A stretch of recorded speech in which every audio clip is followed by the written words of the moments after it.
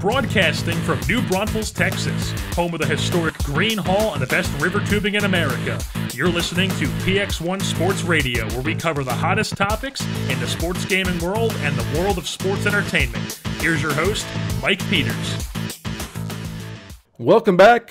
We are in the middle of June, only about four days post EA Play. Got a lot of info out there in LA on Madden 18. We're definitely excited about it. Going to bring you some info today. We have Relli from Madden Universe here with us today. You guys have probably seen him on Twitter and also hanging out with the Sim Standard guys like I do a lot. He's been out there a lot trying to bridge the gap between the competitive and the sim communities.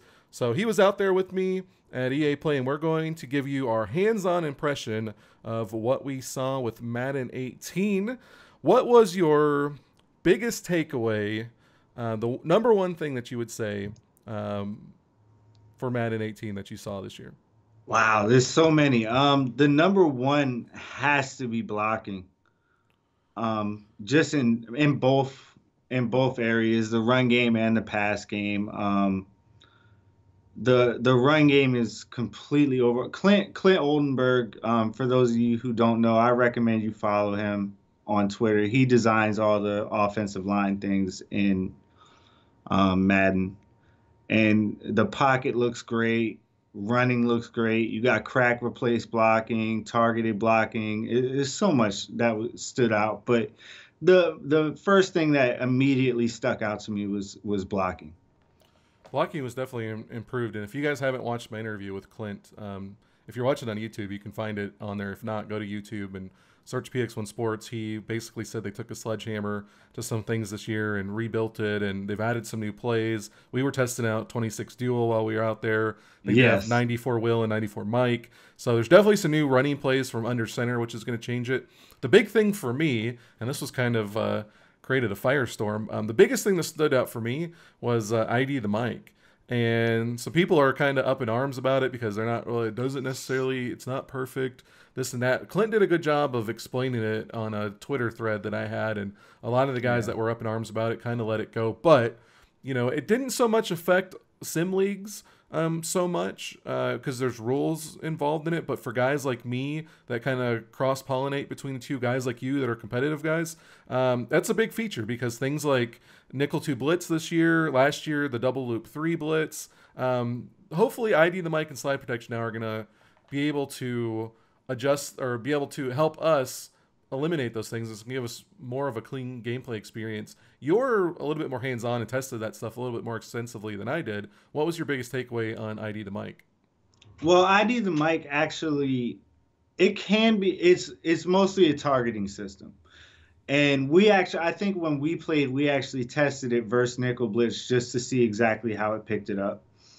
And just targeting the Nickelback, who would come in, and this is just a basic overload concept. So it should come in generally if you don't do something to pick it up. We used no slide protection, and all we did was ID that nickel blitzer. Um, and basically, what would happen was the left tackle would kick out, pick up the nickel blitzer, the defensive end would come through, and your running back would pick him up, usually cut him to the ground.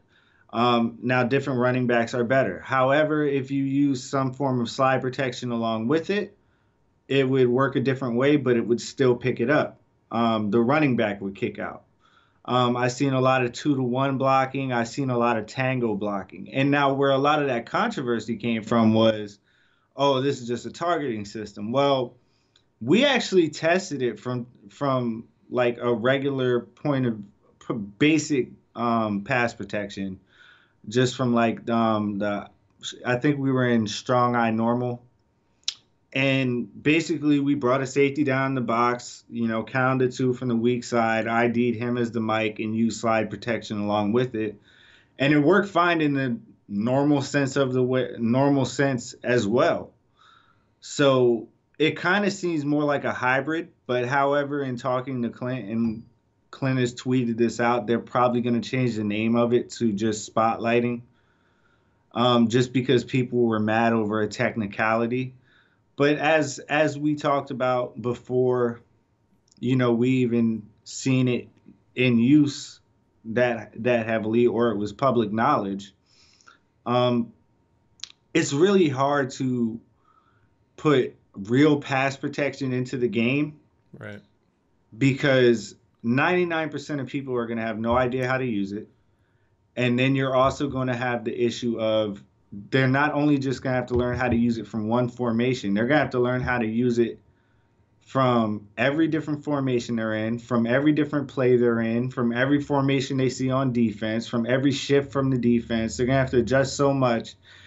And it would completely It'd be impossible it, for that. It, it would alienate. It would alienate right. so many people. It's just not fair. I, so I, I, think it's great. That's uh, one of the things that drives me crazy. Is some of these hardcore guys, um, usually sim guys, um, they're just so like, oh, we, this needs to represent real football, hundred percent, because I know football and I know this and that. It's got to meet what I expect, and it's like, dude, you're like the top 1% maybe of football knowledge. Top 5% for sure.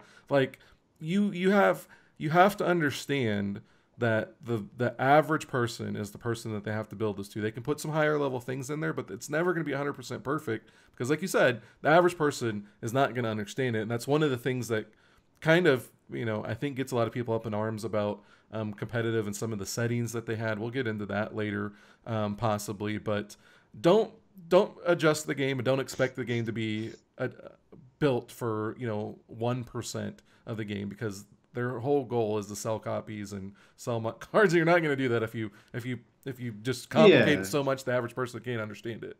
And the other thing is too, like when I seen a lot of people arguing over what ID the IDing a mic really is, a lot of people literally thought that when you ID a mic, you're literally just pointing out the middle linebacker, right. and they thought they were right. And More I'm like, people thought that than that the that the concept wasn't correct. Yeah, exactly. And that shows how far away they are. I mean, yes, the mic linebacker from a defensive perspective is the middle linebacker, but from an offensive perspective, it works completely different. Not to mention, in every different scheme, pass protection is different. Different coaches teach it differently. Right which is another reason why yeah, I think Clint pointed that out on Twitter. Like, hey, this is my experience. I played in the NFL. I've gone to clinics, but not everybody teaches it the same way. So you can't you can't put in a system that's 100% perfect for everybody. Um, now, one thing with that, we were on Sim Standard last night. So if you guys haven't checked it out, Sim F Ball Critic, um, we were on with Millennium OS, Paget Zulu, and we talked a lot about it. Um, you guys can definitely check out their podcast one thing that came up, NY Kia mentioned this in the chat, and I don't know if you got a chance to test this at all, but that tackle kicks out and that running back comes in to cut block the DN. His point was that most of those DNs are just going to hurdle that running back and get free release to the quarterback. What's your response to um, that? All right. Here's the thing I tested different teams with it as well. When you just ID the mic and do nothing else, that's when you get the defensive end free and the running back picks him up okay? You're going to have to know your personnel because the ratings matter as far as, and this goes across both modes, um, sim and competitive.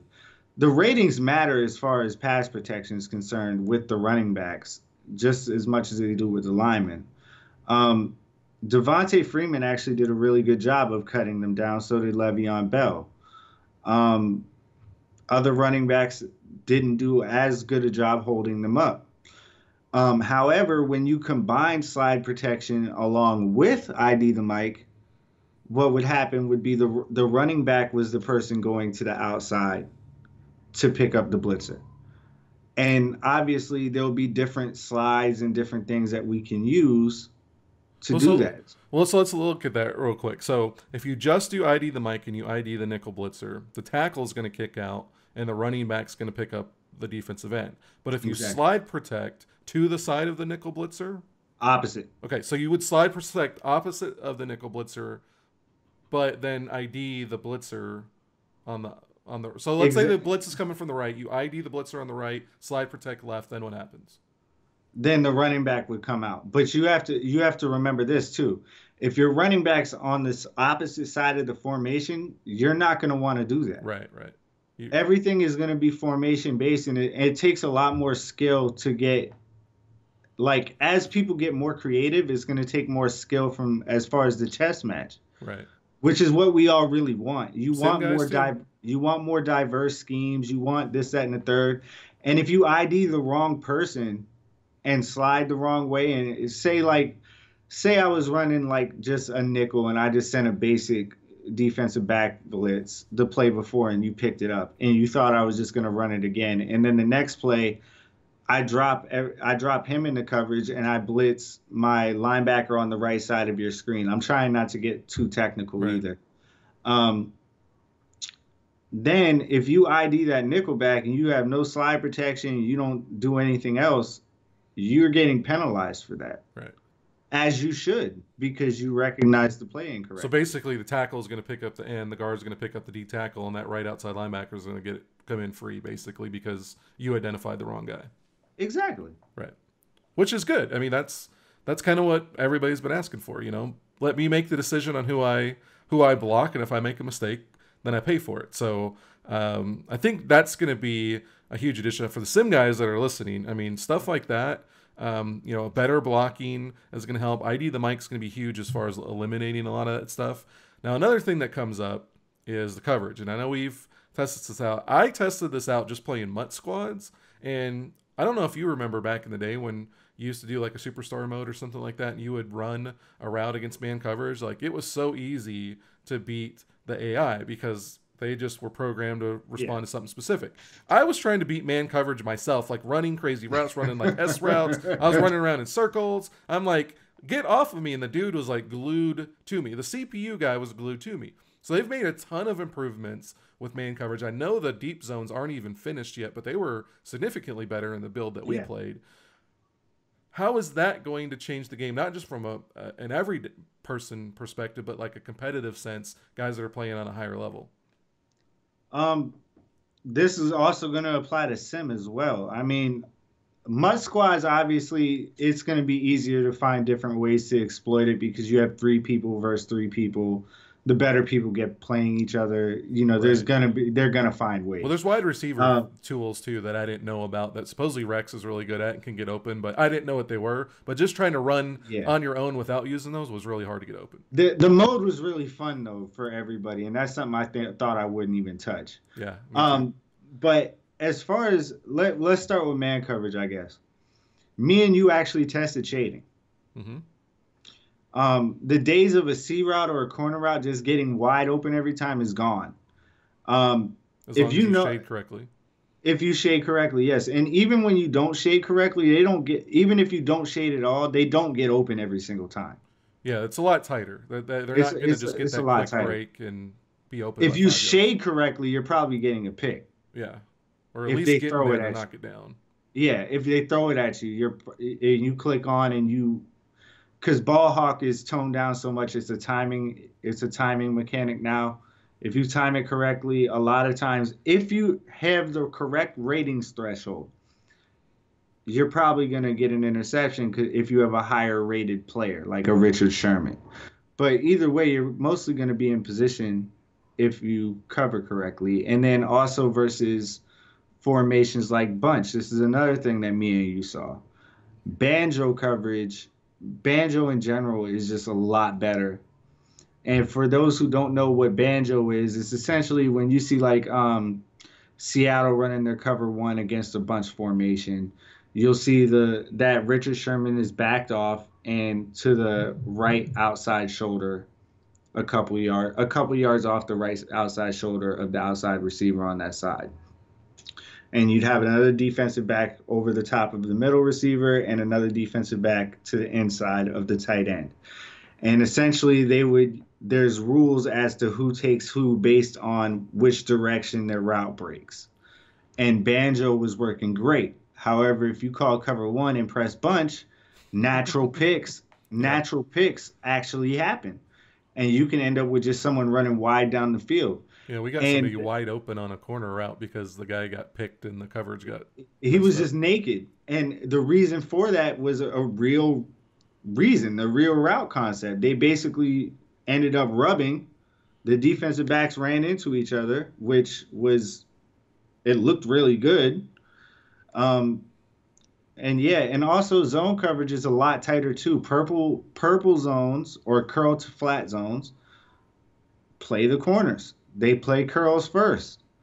Um, so I mean coverage in general, and also for those at a higher level, and sim guys have wanted this. Want this is something that a lot of sim guys don't like is even this year in the pa- or in the past how we could run all the way up with a seam and jump all the way down to a slant. You can't do that anymore. Oh yeah, definitely can't run around and cover three routes no, at the same time. No, I mean you can st- you can run in the middle of two seam routes, and then when right. they th- if they throw the ball too late, run over to either side, or you know, but it, you're not going to run ten yards down the field and then pick something up that and then pick something off that's thrown five yards behind you with your back turned.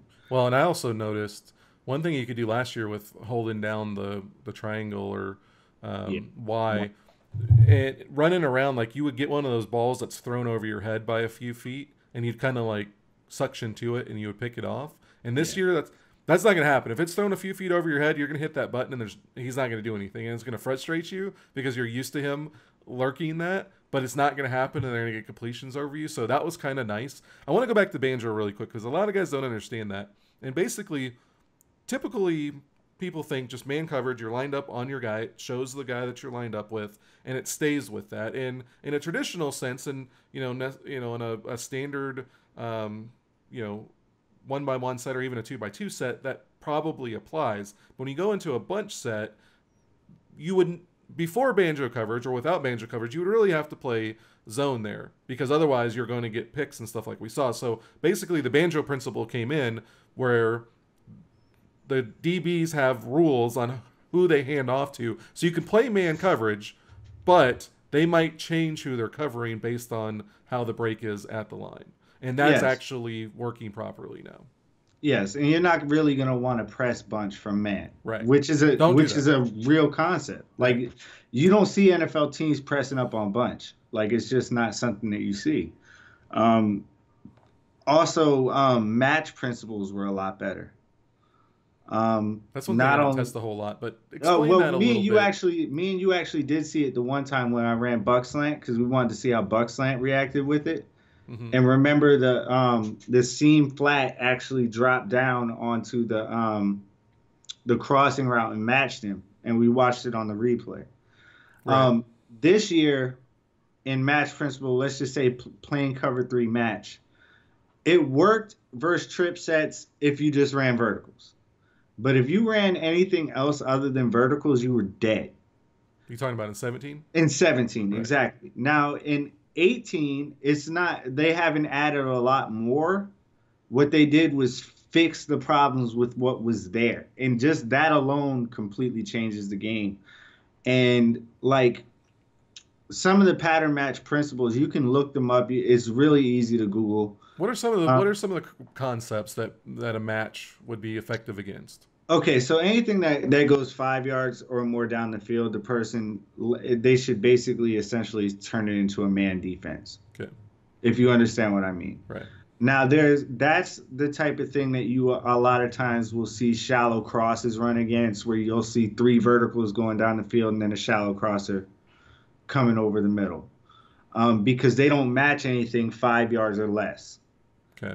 This year, you're seeing that play out the correct way.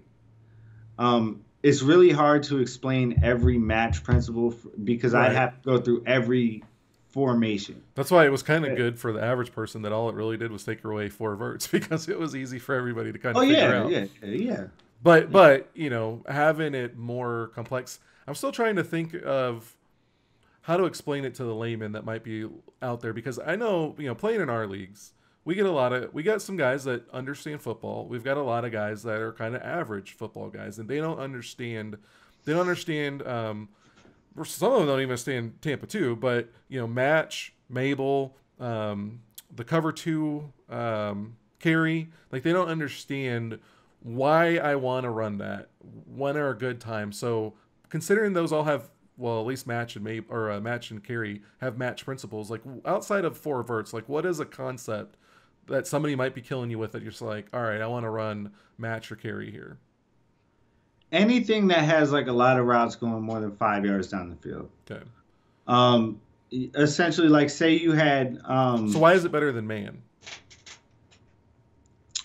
Because it can it can change to just a plain cover three. It's more of a confusion thing. It, yeah, it can. Okay. It's not something you're gonna want to run all game long or anything like that. It's something that you want to mix in to confuse somebody.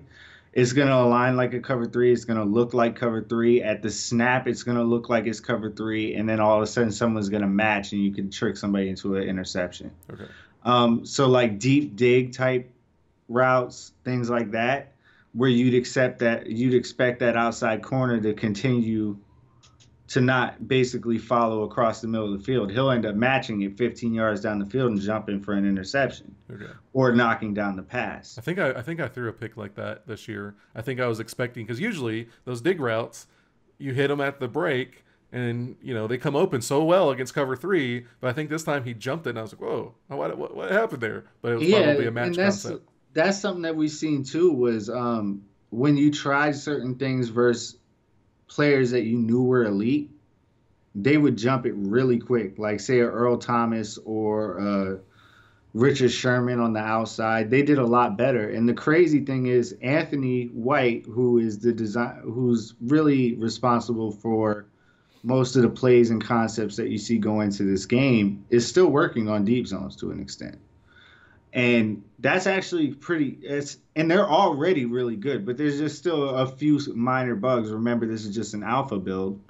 But all the other zones for the most part were done and fixed and they flat zones hard flats play the flats um, soft squats match as they should.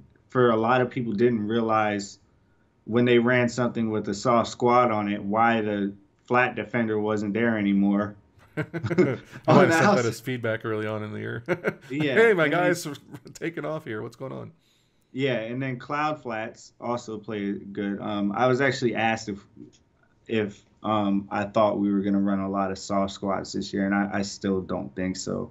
So okay, you you brought up uh, cloud flats on corner routes. That was one of the big things. It's always been hard to not just the C routes, but like tight end corners and stuff like that. What are the what are the the zones, uh, whether it's this year or, or in 17, that are the ones that you want to be in against the guy that's kind of keeps trying to beat you up with corner routes? Okay, in 17, I'm gonna go over 17 real quick first. Um, curl to flat zones or purple zones did not play the corner well at all. They did not do what they were supposed to do. Corners got naked. Um, they played curls okay here and there. Um, in 17, what I would do and what a lot of people would do at a higher level, which I guess your average user wouldn't know this, is we'd have cloud flats on the outside and we'd put our user on a hard flat. And so that and so that would make the cloud flat drop further. And this isn't something that we wanted to do because you know it makes us take a step to the right first, say if it's to the right side of the field. Um, but that was why Mabel didn't play correctly.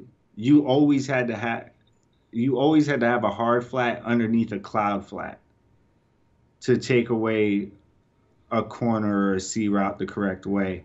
And those deep, deep corners, you there was no way you were stopping those. Right. Um, and so like, this year, what's what's changed? um, you can just throw a purple out there, man. If they run a C route or a corner route, they're done. Okay.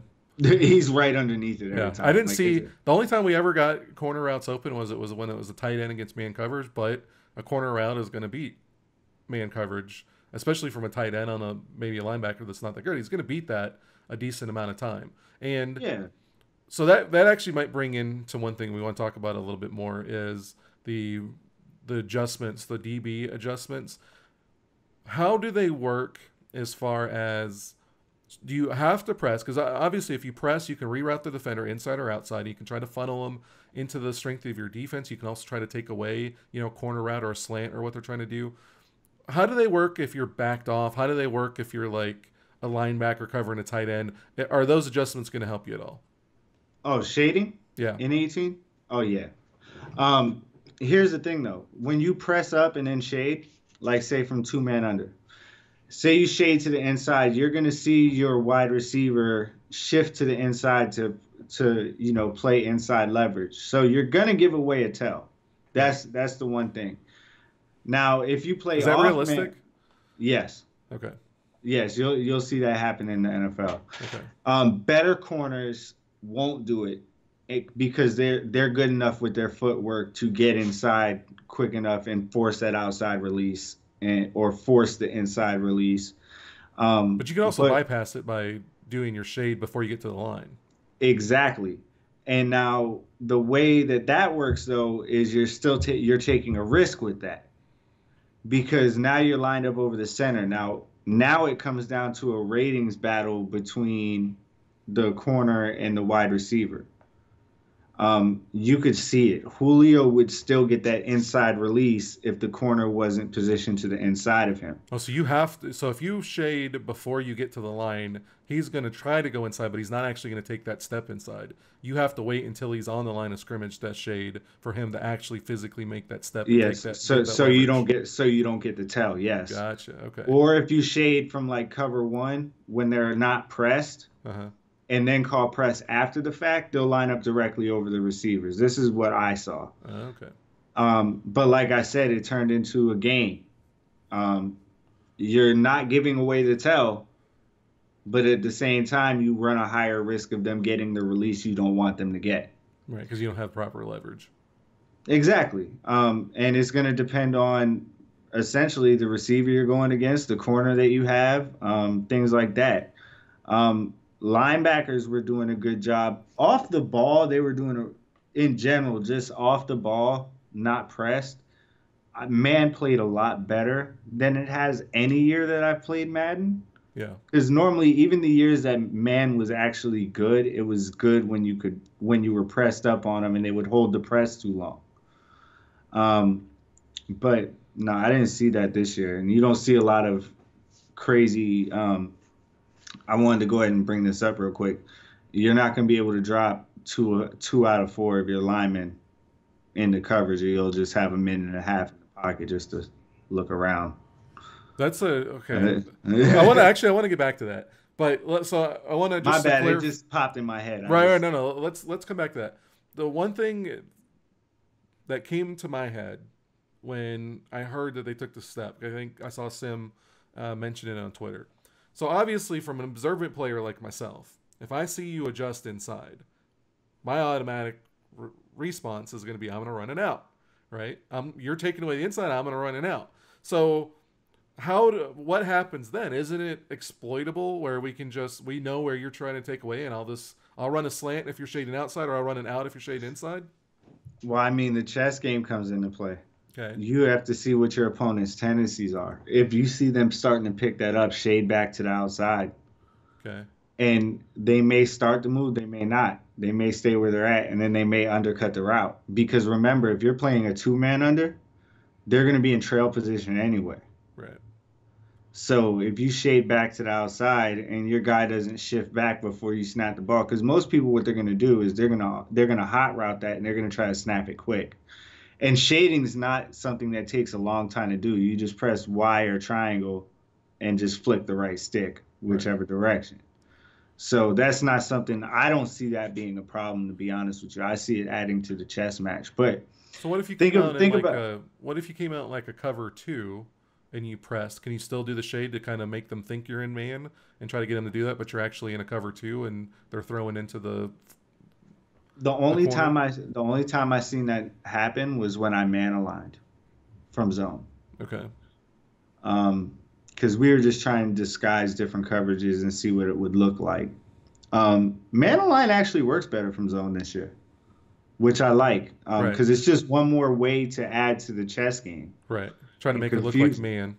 Exactly. Um, I don't. I mean, I would like to not have to base align every single play. Like, I mean, base align is there so to add more confusion and to try to add to the chess game. But if you've ever seen Clint tweet about it, he hates it. He doesn't think it's realistic in the least, but it's in there. Um, he says that, but I would challenge him on that to a certain extent because I've seen when Rex Ryan was the coach of the Jets. If you remember the playoff game where they held Brady in check for three quarters and just destroyed mm-hmm. him, he went from playing all always just being like cover zero, send the house at Tom Brady to only rushing three and playing a pattern match defense.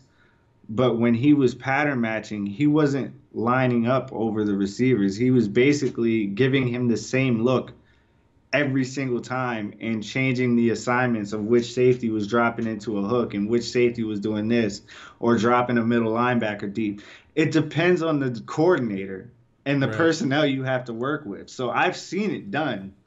It's not something that happens as often as we use it in Madden. Though. See, I, see, I've always kind of thought that with baseline, like it's a good way. Like if you're trying to blitz, you baseline, they think it's a base coverage, and all of a sudden you're blitz. Although it always seemed to me, and, and of course I didn't do it a whole lot, I always seemed like when I did that, my blitzer was always too far off the line and it would take forever to get there, and I'd always leave a big hole.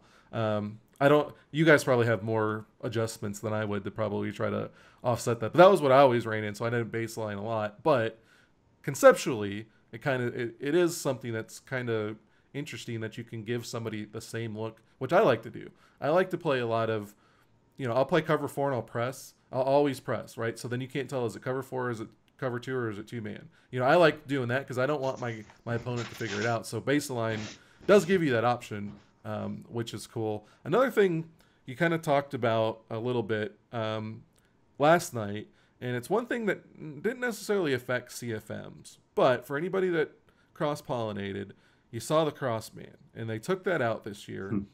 And so now the one thing that I think is kind of coming up, it popped into my head. I know some other guys were having the same fears as well. That was the one way, especially online, to defend against crossing routes. So now, what are we going to do defend against crossing routes now if crossman's not available? Here's what's nice. Um, there is one way around crossman, and that's to man somebody up and then drag your person all the way across the field. But if you do that, you know what someone just did. Right so I mean, it's it's so obvious. I mean, like it. Go, please do that because right. now I know. now I know there's gonna be a big hole in the zone right there. like, right. like you know, so. Um, but as far as defending crossing routes and, and concepts like mesh, um, you're gonna see more like cover two. That'd be more of like a cover two type thing, and also you're gonna have to time the throw of your route a lot better because of the way flats play. Right. Um, flats, even from cover three, flats will come down if you if you try to throw those drags too late. They're gonna get popped.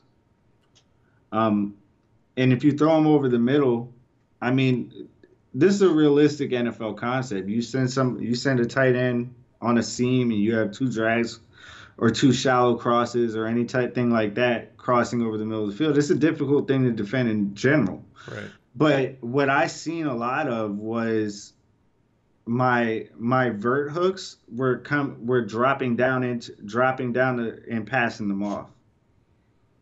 Now like they would they would come yeah they would come down and then they would kind of pass them off.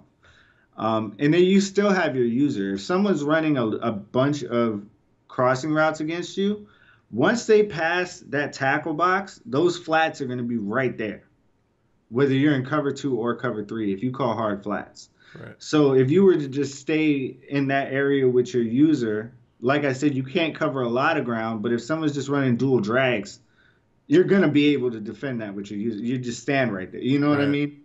So like it's not even something that's hard to, what, to do with your user. So well, one of the big things with crossing routes wasn't it wasn't so much like the shallow crosses, which I mean they did come up with in the flat slot, and that was something that some guys exploited.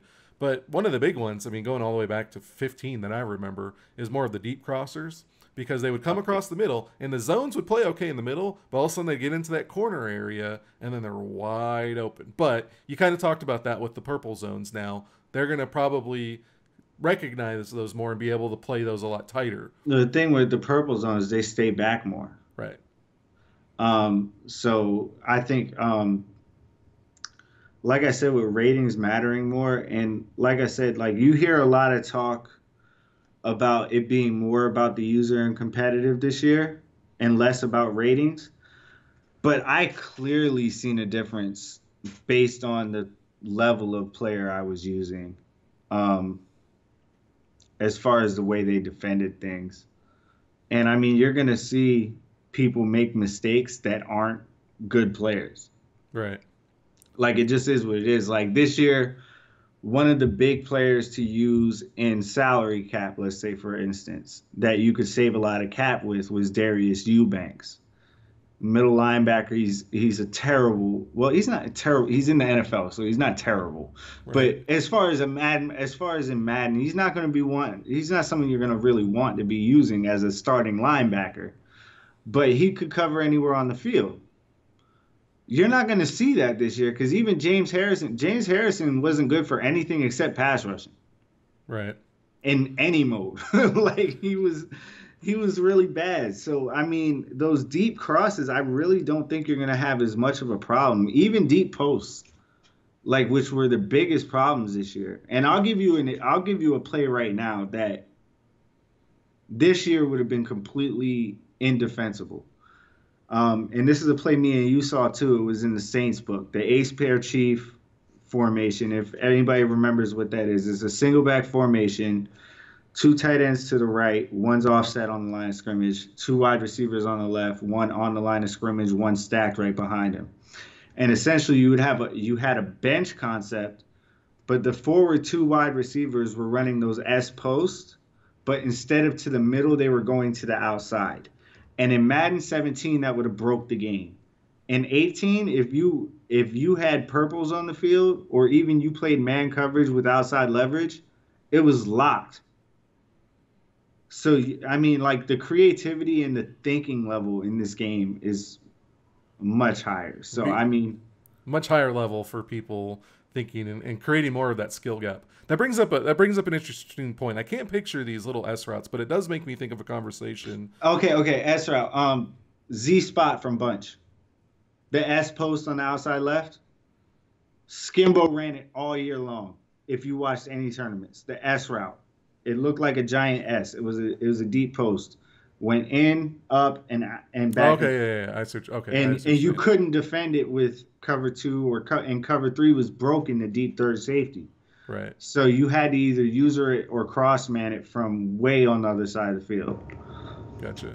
So, so another thing that, uh, that just came up the other day, we were talking about um, double moves basically with the new with the new shading and everything uh, putting double moves so something like a post corner um, how will that affect like how is that supposed to be played how will it affect like if you want to if you're expecting a corner and you shade outside say but they're running the post corner is the fake to the post before going to the corner going to throw that off or how's that going to work i seen double moves worked really well okay um it wasn't meters so if yeah, it wasn't a it wasn't a one hundred percent clip, but like even chair routes, you know, that's like an out and up or or in and up either okay. way.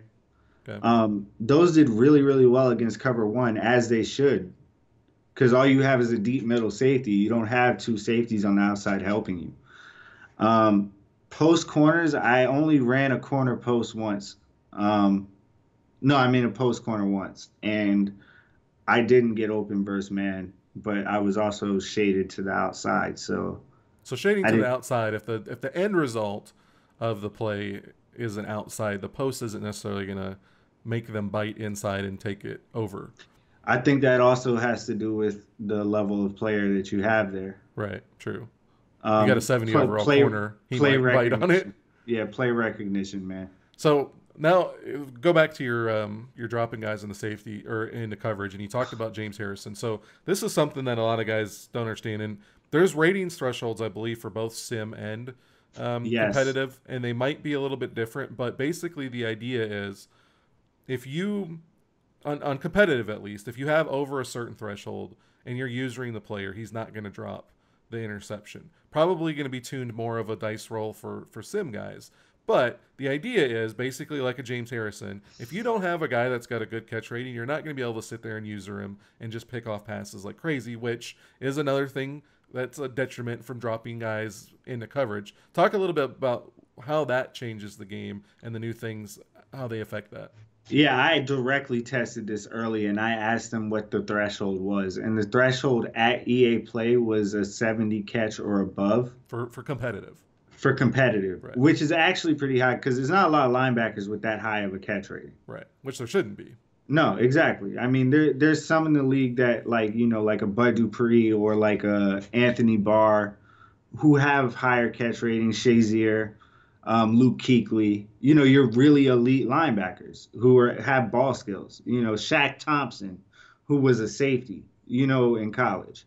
Um, when I used James Harrison, I was having someone literally just throw a slant every time right at me.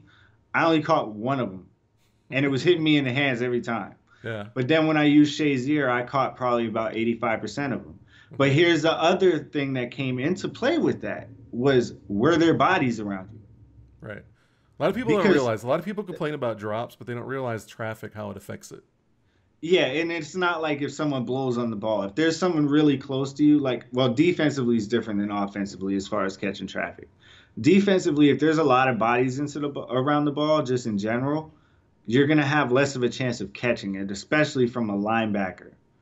Um, now, if someone's just throwing in the coverage over and over, you're gonna see a lot more interceptions, which I feel they should because and I threw a lot of them, so trust me, that, that's very true. and that was on both modes. Like I, I was throwing more picks on both modes than I normally would because like I was looking at it like we were new with the game. We weren't, you know, we were testing different things. Um, a lot of concepts that you don't see as often now are going to be a lot more prevalent. Like a lot of different levels concepts and high-low pass reads and and mixing up what you're doing, like the run game and and things like that. And as far as the catch threshold on defense, like it's not an every time guaranteed thing Right. on either mode. I think the threshold will be higher on competi- on on sim. Um, But than it it would be more of a dice roll in sim. Like if you have a, Yeah, even if you have a 75 over catch, I think you're still going to drop some just because you know the dice roll comes in. But I think in competitive, they said if you have over the threshold, you're in your username, you're going to catch it. So I think that's a little bit of, of the difference there. Well, Going back to the Yeah. um, the defensive line dropping guys in the coverage, that's one thing. A lot of our leagues uh, have always had a rule against you. Always got to rush at least 3 Um, you play online. One thing that I started to notice, I played like a week or two ago. I got on. I was just trying to mess around with MUT, and every time I was in like a third and long, this guy would drop 11 in the coverage. It was just, I'm like, what? I mean, it wasn't even third and long. It was like third and eight. Like it was just 11 in the coverage. So what? Maybe not even necessarily stuff that has changed in 18, but if there has been things that changed in 18, how can you better attack that this year so to make those guys pay for the stupid decisions like that? Uh, there are several ways actually. Number one, they're not going to get a pass rush on you. You're going to have a if it's two, if it's less than three rushers, like say two, you're going to have a long time. If your quarterback is faster than the person they put in the spy, assuming they put a spy on the field, right. you can just run around the corner and outrun them and slide down for five or 10 yards, you know, whatever. Go out of bounds, do whatever you got to do because you get full speed of your quarterback right behind the line. The other thing I noticed too was on scramble drill, wide receivers were smarter. So, like, if you rolled out to the opposite side of where they actually left those rushers, um, your receivers actually all broke off differently. They didn't like go to a spot, be wide open, and as soon as you throw it, they run away from that spot, like you see in Madden 17 so much, which drives me nuts. Right. The scramble drill is terrible in 17. Um, that was improved, but like just in general, like um, we had somebody rush too, and I was just standing in the pocket, and literally what was happening was, as soon as you started to see them get towards the edge, I would just slide to the right with the quarterback Mhm. nonchalantly, and then the line would just start moving them back. they were just passing them across. So they're not going to be able to get Um, pressure with just two man rush this year. No, and no, and that was with that was with like elite linemen, you know. So now if, if they rush four and they got elite linemen, you got a real good chance of having a rush in your face. The pocket's going to form differently uh, depending on the ratings between the two power ratings, finesse moves, things like that. You're going to see a much better pocket. Um, you're going to have to step up into the left, up into the right. You're not going to want to run back seven to eight yards anymore. So, I mean, a lot of that's really good. Um, but if you have a mobile quarterback and someone's doing that, they're in trouble Yeah. because you're just going to Newton in our league, so that'll be fun if somebody tries to. yeah, they're, they're just you're just gonna take off like they're in trouble. Or even like in Aaron Rodgers, most defensive tackles aren't fast enough to run down, and that's who you they people usually spy is the defensive tackle. They don't spy the DN because the DN is the best pass rusher. right. And also, if you that was always you, way too effective. Your 55 Yeah. speed tackle shouldn't be running down Cam Newton. yeah, and the other thing too, if they start dropping people, you can you're going to run the ball for eight to ten yards a clip. Right. So that was Like- that was my question is on that. Would it be effective with the new blocking and the off ball blocking if you're not lined up on them and they're dropping in coverage? Can you just in theory, if it's third and seven, run a dive or something and then get better leverage because now they've got momentum going down the block? Oh yeah, definitely, definitely. It was very clear to me. And then also, not not even that. Even if they rush off four, if they if you pass commit, Oh, you yeah. get a huge penalty for that, and that's on both modes. Like you, if you call pass commit and someone runs the ball, like a traditional run, like say you're in shotgun, you just run an inside zone. They get you get a big penalty for that. Now draws are designed to you know take longer to develop, so I would imagine the higher rating you have at linebacker, if you're not using him, he may be able to make somewhat of a play on the ball on draws or delays when you when you pass commit. But from in general, if you pass commit and they run the ball, you're in trouble. And if you run commit, it's extremely aggressive and extremely effective against the run, but it's much more aggressive than it has been in years past. So if you run commit on say, well, we won't even talk about QB sneak because QB sneak's got a Uh, yeah, they, they they need to work on that. Yeah, they got to work on that. But so like you know, fullback dive, um, in, or even a halfback dive. That's one of the things that a lot of guys on like a third and one, fourth and one will go. What's going to happen on that, and what's the best way to attack that this year? Um, the best way if they're run committee. the best way to run commit to execute. No, to, to attack it. What? How is it going to work? Is that going to basically shut down ninety percent of the time those halfback dives and fullback dives? But what are you? Here's here's the thing though they bite on play action Okay. rushers block on bite on play action unless you pass commit so if you run commit and run a quick play action like a, a, a pa dive type play you're Mhm. probably going to score a touchdown Okay. or you can just literally snap throw a sneak slap snap throw a streak and score a touchdown so like there is a real it's really really weighted um Very high risk, Then- high reward. Exactly. And if they run commit the wrong direction, and say you ran a toss or a power, like duo, say you ran duo to the right and they ran commit left, because duo's not just in I form pro, it's in I tight, it's in other Okay. it's in other sets too. So I tight, it's not as easy to judge which side you're probably going to run the ball to. And Right. it, weak side runs work better this year. Um, you mentioned 94 Mike and then 94 and 96 Will. Um, for those who aren't familiar with the terminology, they're basically power zone runs. 94 Mike, obviously they tar- the fullback's going to target the Mike linebacker, which is speaking from a defensive perspective now Right. the middle linebacker. 94, 96 Will are going to attack the Will linebacker. And why is so for somebody that doesn't understand why that's important? Why why would you run those plays? Um, there's several different reasons. Um, based on formation alignment that you're seeing, um, the positioning of where. See, there's there's there's one part of strategy that I can't talk about yet.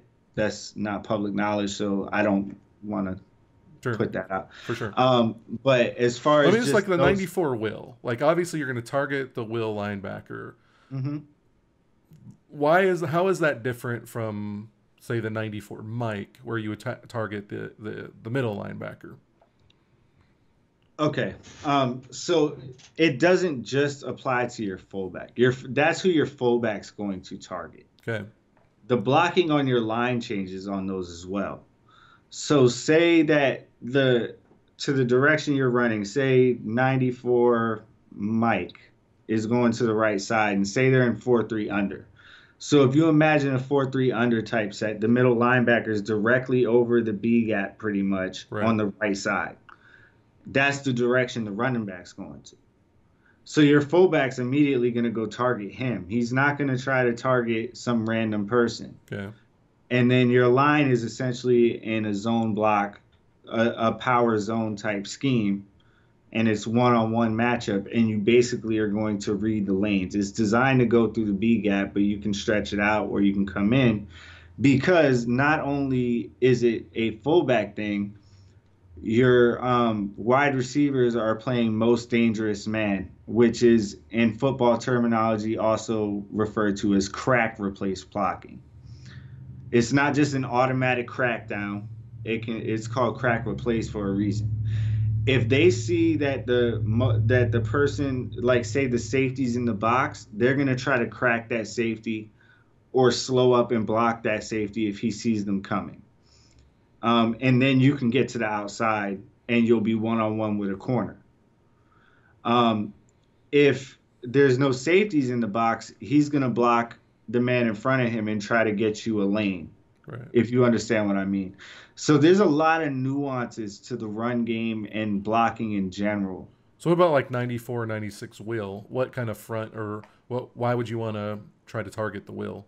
If the gap that you're running at, um, or the area, or the way they shift their line and linebackers, if the will, if the will is would be like a four three over front where the will is on the line if we were just talking basic fronts with no adjustment, yeah, that would the will would be more of who you would want to target. Okay. Gotcha. Okay. Um, so it brings up a couple of things. One, talk about physics in that um, I brought up Cam, running with Cam. Now I wasn't playing you when I was using him, um, but I got one run where I ran up the middle and he kind of got in traffic but he didn't just automatically go down. Like he kind of bounced off a couple of guys, was fighting, kind of squirted free, and then like somebody grabbed him and finally, and it looked like realistic. Like I really thought Cam Newton was out there running the ball. Um, another one in the same game, I was playing the Redskins, and I don't know who their running back was. It's number 20. I don't know if you know who that is, but he ran over Captain Munnerlyn twice. Like I tried to come up there. I mean, he just obliterated. I don't know. I, I was trying to look at the roster. Number. I don't. I don't remember their numbers. Yeah. So, but whoever it was, like Captain Munnerlyn's like a five seven corner. He's little, and he got obliterated twice head on, and that's something you didn't usually see. Like you could hit the conservative tackle and he'll wrap him up, but in a one on one situation like that, just obliterated him. What did you see as far as physics and how? I mean, I know it's going to affect oh, wow. it in a lot of different ways, but um, how's that going to change the game? This is actually a twofold question when you think about it because we can go into running backs and and halfbacks. Number one, first of all, before we even you know go into specific position types, suction animations are gone. Oh yes, completely. you break the corner, you cannot hit conservative tackle and suction from behind and take them down. They're gone. No, it, and it's not just tackles either. The suction animation on the swats, the suction animation you get on the on lurks. catches and lurks. Yeah. All that's I did not see one all weekend. Either I also did not see a tackle. Did you see a tackle battle battle all weekend? Uh, see, I don't know.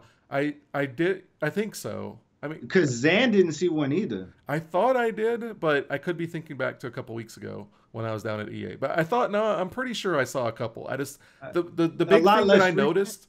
The big thing I noticed with them is the button would pop up, but it's it doesn't have that stop and pause like it did last year. It was okay.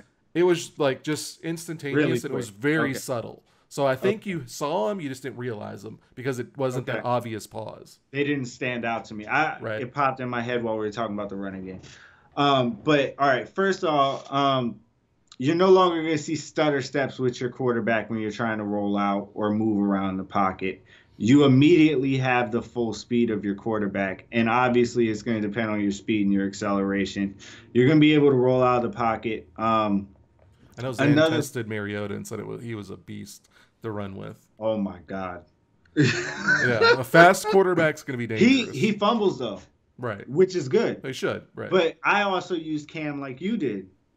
And Cam, you could actually use the Panthers playbook and use those those quarterback powers right. and run the ball like that. And I think that might be something you see people who use like a Cam Newton may and use the Panthers playbook run in like the red zone area, which is realistic to or the if NFL. Got a, a, a, guy like in a franchise, if you got a guy like Taysom Hill or something like that from BYU, smaller but kind of like a power back that ran a lot of that stuff in college, it can give you a different a different um, play set to use around the goal line instead of what you normally are used to. Exactly, and then also the this the the juke moves and spin moves, truck moves. So I didn't use those a whole lot. I try to use them a I little did. bit. So explain the difference in those now. I didn't understand because the first time I used it, I, the spin move, I was using the power back. hmm And I looked at Clinton. I was like, I thought y'all redid these. and This looked exactly the same. He said, go into a game with the Falcons and use Devonta Freeman. And I did, and it looked completely different. Right. Which it should. So each each player has a different. It's gonna look different. There's probably a It's threshold. all- if you're all- over 85 or whatever it is, you're going to trigger a better animation. Exactly. And each running back's better at each thing. And another thing that I noticed is quarterback movement within the pocket. Each quarterback moved different within the pocket when you were sliding side to side. Their releases were different. Their their release times were different. The way it looked when they threw the ball was different. And this is coming from a person who that wasn't what I went there looking for. Right. I went there looking for no more suction tackles. I had lower expectations going there with the hopes to see more. You understand what I mean? I just wanted the gameplay fixed in a general sense. You actually seen customizations made by specific players. Player models were different. Bigger players felt clunkier and slower than smaller players, like a Kelvin Benjamin. Like um, he was big, and you could you could see the height difference and you could see the size difference. But when he got the ball in his hands, you weren't going to break away like that. Like you, it just felt different using him when he got the ball in his hands as opposed to like a Doug Baldwin getting the ball in his hands. Right. And their routes looked different too, which was great as well. Like locomotion in general just looked and felt a lot better. So, talking about routes and the way the different players feel, obviously the theme on 17 was speed is the only thing that matters. Route running doesn't really matter. Catching matters to some degree, but speed is king. If you got a 98, 99 speed guy, just send him on streaks. Eventually, he's going to come open. Obviously, the deep zones are improved, man's improved. What else did you notice that's going to affect guys that have speed and really nothing else? I noticed that the speed threshold is more prevalent in the open field. Um, like we said, you don't get chased down from behind with, with a Cam Newton when you're getting chased by a big fat defensive tackle. Right. You know, um, it's the same thing with receivers. However, we all know Sherman's never one of the faster corners in the game. Okay, so Sherman is a, he was a player that wasn't highly used in MUT or in salary cap because of that. All his other ratings were great, but it didn't matter because if you had a 95, 96 speed receiver, I was screwed. Right. This year, I didn't see that. Well, how, okay. Well, that actually brings up something. So pressing was the biggest problem. You could press, and if your receiver broke the press, he was wide open down the sideline. So how does the how did the press animations change, and how is Sherman going to be able? How is he going to be able to play man and press now? Uh, I'll give you? I'll give you an ex- a great example because we actually did this. Um, when I had Sherman impressed up against Kelvin Benjamin, right? Their ratings, I would imagine. Kelvin couldn't see any of the ratings we- for yeah, any of those I, I'm just going off of my knowledge of players here. I would imagine Kelvin Benjamin's release is, is fairly high because that's what he's good at is getting position. He's not gonna outrun you. He's not gonna have the best routes as far as like the way he runs the routes on the route tree. When I had Sherman on him, it felt like it was more of a battle at the line of scrimmage with those two. And I'm trying to use these two because their ratings match up pretty similar if you think about it. Like Mhm. the type of corner Sherman is big, six three, physical. Um, Benjamin, big, six four, six five, physical. And both of them not very agile, but very good at what they do. right. Um, I seen that matchup be very equal as far as the wins were concerned. Then when I subbed out a Sherman and put in the backup to Sherman, who ended up really, who's really the fourth string hmm corner in the situation, what we were doing, because we are just we were testing this from dollars, so we didn't have crazy pass rush, so we could actually have time to see how the releases were. And Benjamin would just kill him off the press. And it wasn't just like flying up the sidelines to where I couldn't turn around and run him down, if you understand what I mean. Mm-hmm. He would just beat him off the press and he'd be open. So that's one thing I especially noticed. Now, however, if if you were playing like a cover zero, which as you everybody knows is high risk, high reward defense. Not um, everybody realizes that actually we have some okay. some well, average guys. Average guys think that's a run defense. uh, seriously, uh, explain it. Explain the cover zero and why you use okay. it and how it's gonna be different this year. This is zero. this is what I'm saying. Like you guys on a higher level, like this is why I'm kind of like the voice of no, the it was man. the way you said it. The way you said it made me laugh. it was the way you said it. Guys don't always understand that stuff. Um, yeah, well, just like when I refer to quarters coverage, a lot of people think I'm talking about the formation, not cover four. Right. You know, so um, just cover quickly, zero, like the difference. Cover, what's different with with a cover zero? Cover zero is literally man on man, hat on hat. That's it. And typically like a red zone type defense.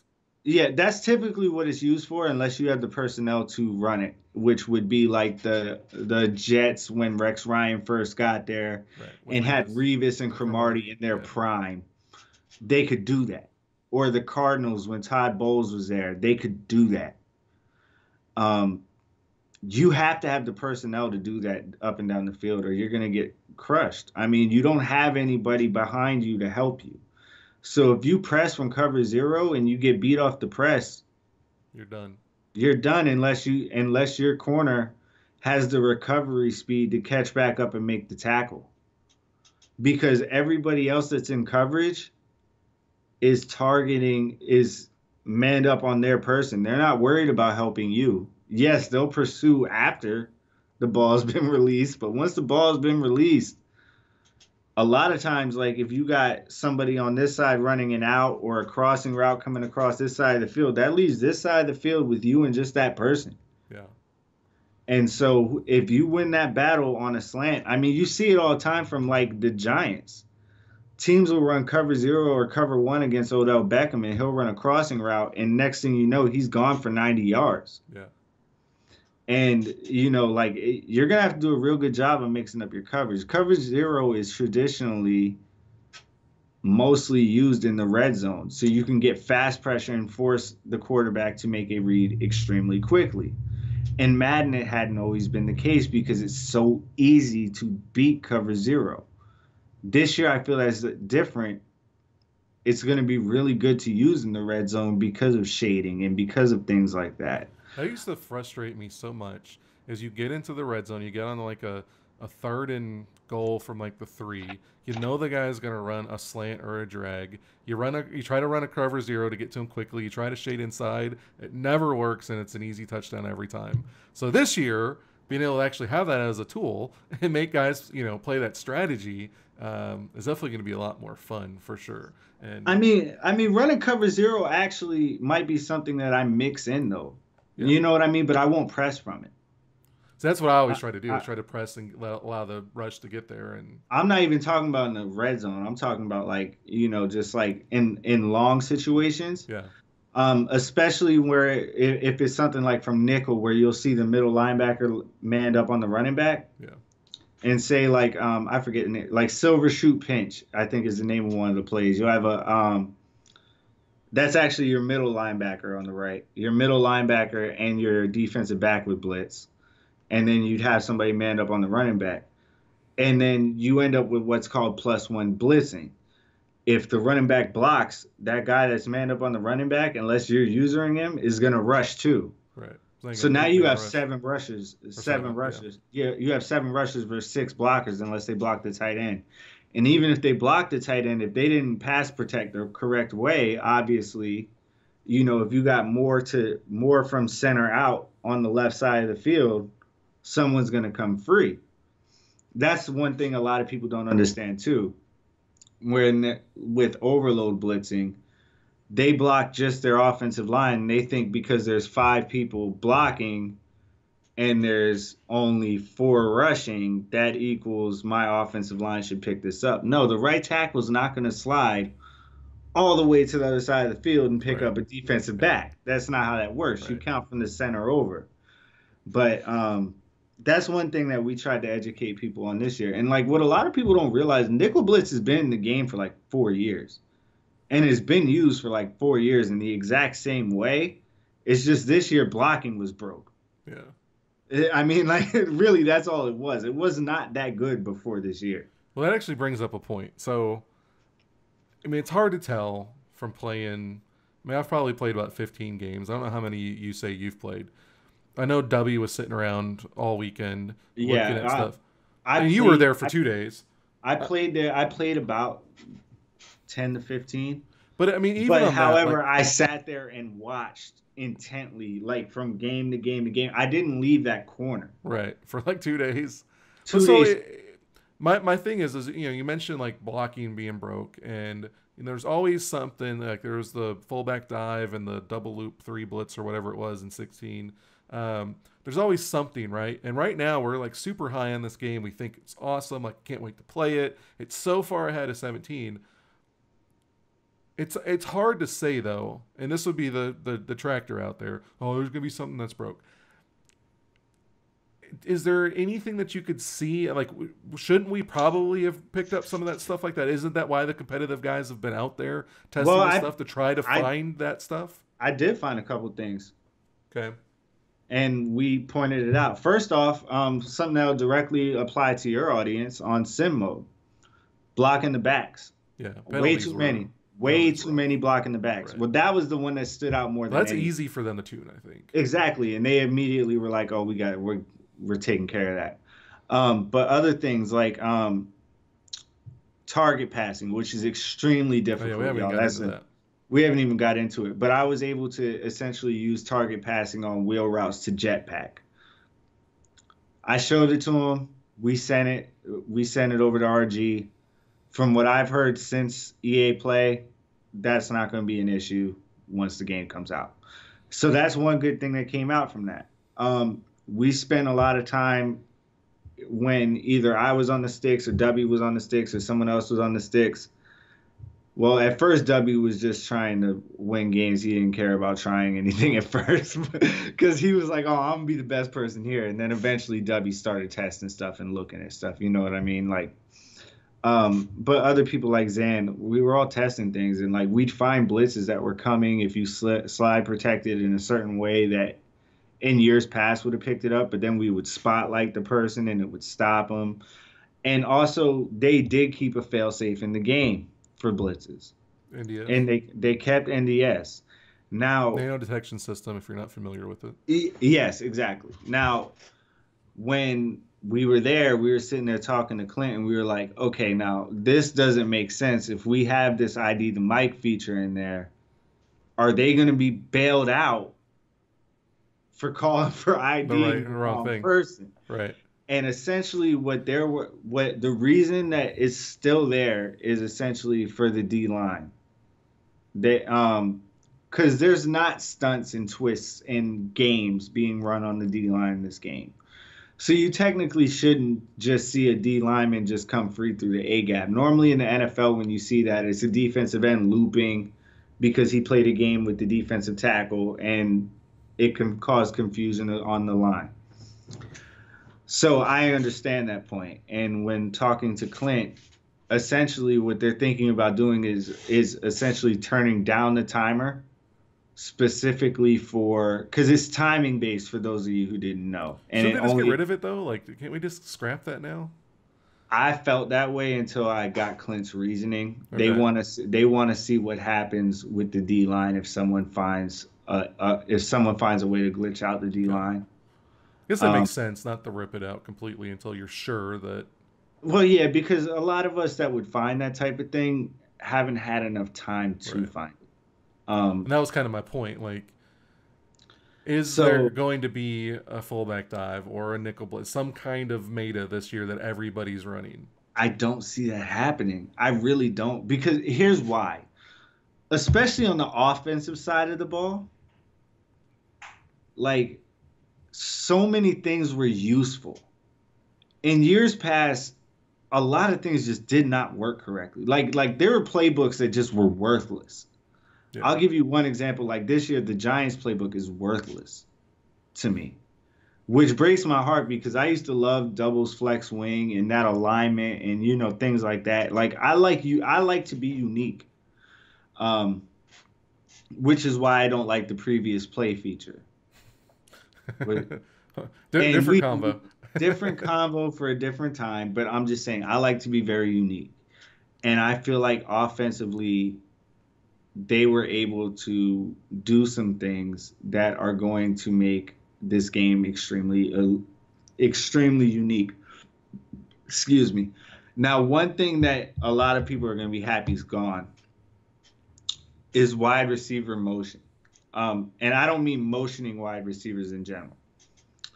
Everybody's seen the motioned out slant route from bunch or from other formations where if you snapped it before he was fully set, like he starts to set, but he hadn't fully set. He ends up on like a delayed slant, and it's almost impossible to defend without using it or cross manning it. You cannot snap the ball unless he's actually in motion, like you would see in the NFL, or unless he's fully set. Not when he's starting the set, he has to fully set. So you don't get that delayed release and you don't get no speed burst crazy jump off of that. That actually brings up a, a question. Uh, I know back in the day, um, when I was playing competitively, mid 2000s, that one of the big things we like to do is we like to motion a wide receiver behind the line, snap the ball, and you get an extra blocker. But to me, that never made sense because they're usually always small and they're going up against a linebacker or a defensive lineman. Like they should get run over. Why are that doesn't even make sense to me. What did have you played with that at all? How is that yeah, I did it. I did it. Um, and actually, you do see NFL teams use wide receiver, bigger wide receivers. Bigger, well, yeah, like a Kelvin Benjamin, that would make yeah, sense. Yeah, yeah. Well, I tried it with a smaller one and it didn't work. Like I got thrown on my ass. Okay. So um, I, I really didn't try it with Kelvin Benjamin, but like like Demaryius Thomas, those type of the receivers that are good at blocking, right, were much better blocking downfield. But then I seen some receivers that I know can't block miss blocks completely or just wander off on run plays. So, I mean, I, I would assume that that would the be how that would work playing a role, kind of like the Captain Munnerlyn incidents. And yeah, exactly. You take a slot and, receiver and you put him behind the line, he's gonna get run over. yeah, exactly. You can't motion Wes Welker or, or um, do from the Cowboys. Beasley. or Ryan Beasley. Switzer now. Bees. I hate the Cowboys, so the, whatever. I got a lot Bees, of Cowboy fans, so we're not gonna go down that road. I'm a I'm a Giants fan, man. So like you know, I, I it's just natural, you know. Right. We'll take um, it out. Just, but Beasley, yeah, he's a good player though. So uh, I'm not, I don't want to go over this all, a ton because Clint basically covered it in my in my interview with him. But one thing that I'm super excited about is screens, and I know you talked about like a new jailbreak screen. One thing that I hated is running a halfback screen against a guy that just sending cover zero blitzes at you over and over, and you couldn't beat him with a damn screen because you'd have one guy on three blockers and he would get through every time. So I know you noticed some new plays in the game, and I know you noticed just the screen in general. Talk about it from a personal experience, how the screen game is. Okay, um, I want to talk about the jailbreak screen first, just because how good it was. It looks so good. Um, all right, there's a lot of play action screens in this game to the outside that we know don't work correctly because they take so long to develop. In 17? Yeah, in 17. Okay. Okay, they just did not work correctly. This year, those work a lot better. Like if they if you run a play action in a screen, um, bubble screens, you don't throw behind them a lot. Yes, I want to get to I want to get to the problems first. Right. Yeah, that's um, big with the bubble screen bubble screens they don't just throw it behind them. Obviously, under center you could throw bubble screens, but Can you couldn't target throw them. pass a bubble screen. yeah, it's not it's not easy, but yeah, you can. Okay, okay. Um, that's why when Millennium mentioned it last night about leading a wide receiver screen to the inside to essentially turn it into a mid screen, okay, which yeah. you see in the NFL a lot. You'll sure. see them based on the alignment of the defense, they'll take it right upfield. Right inside, whereas in Madden you always had to go straight up field, except that for the year we had the mid screen from like an empty set. but the jailbreak screens, man, they work so they're so nice. Um, obviously they're stoppable, but they're really nice, and it's hard to recognize them instantly. Like the biggest thing that you see with um, halfback screens in 17 right now is they're so easy to read. You can just go pick them off like almost immediately. Right. Yeah. Um, if you have any type of, if you're really a, a higher level user or even mid to high level user, you're able to just run right through that gap in the line. This year, screens happen so much faster you're not going to be able you're not going to see that as often as well as you're not going to see the quarterback getting that sack as often. The other thing that you're going to notice is that if someone's run there are ways to counter it. Um, we didn't even bring this up but defensive ends can't be manned up on wide receivers. However they can be manned up on running backs. So if someone's just spanning a, a halfback screen on you if you man up a defensive end on him, he's just he's gonna smack the running back in the back. You could end up with a fumble. You could end up with a broke up pass. What you can end up with a lot of different things. But as far as the user just shooting through and taking that away and taking it for six, that's going to happen a lot less often. You're going to have to have like a really elite linebacker to do that or know that it's coming because someone goes to a certain formation and does it over and over out of that formation. Um, the other thing is what you said about someone running like um, cover zero blitzes or anything like that. It's going to be very hard for them to live like that because, like I said, the screens happen so much faster. Um, that might be my my most favorite thing in the game. Yeah, the screen. I said ID the Mike was the most thing that stand out, but that's always been me because I you get these guys that just want to blitz like they don't know how to play defense all they do is just blitz blitz blitz and you couldn't ever really punish them for them in a realistic way because your screen game was so broken but now you exactly. get those guys that just want to blitz you got all your different screen options out there you can make them pay with a big gain force them out of it and then you go back to playing football um, I don't know. I'm super excited about about that. The thing I did notice though, if if you run the screen to the wrong side of a blitz, oh yeah, you were in trouble. Like which, which you should pay. You should be. Right. Yeah. So like I mean I noticed a lot of that. One thing that I've been begging to be in the game, and I guess I could do this with target passing, because I didn't even think about using target passing for this. Is I've been wanting to be able to throw the ball away at the running back's feet yes. on screens forever. Somebody like, mentioned been... last night. I think Smitty mentioned like throwing it out of the back of the end zone. Like it's oh yeah, yeah. So many different that. options.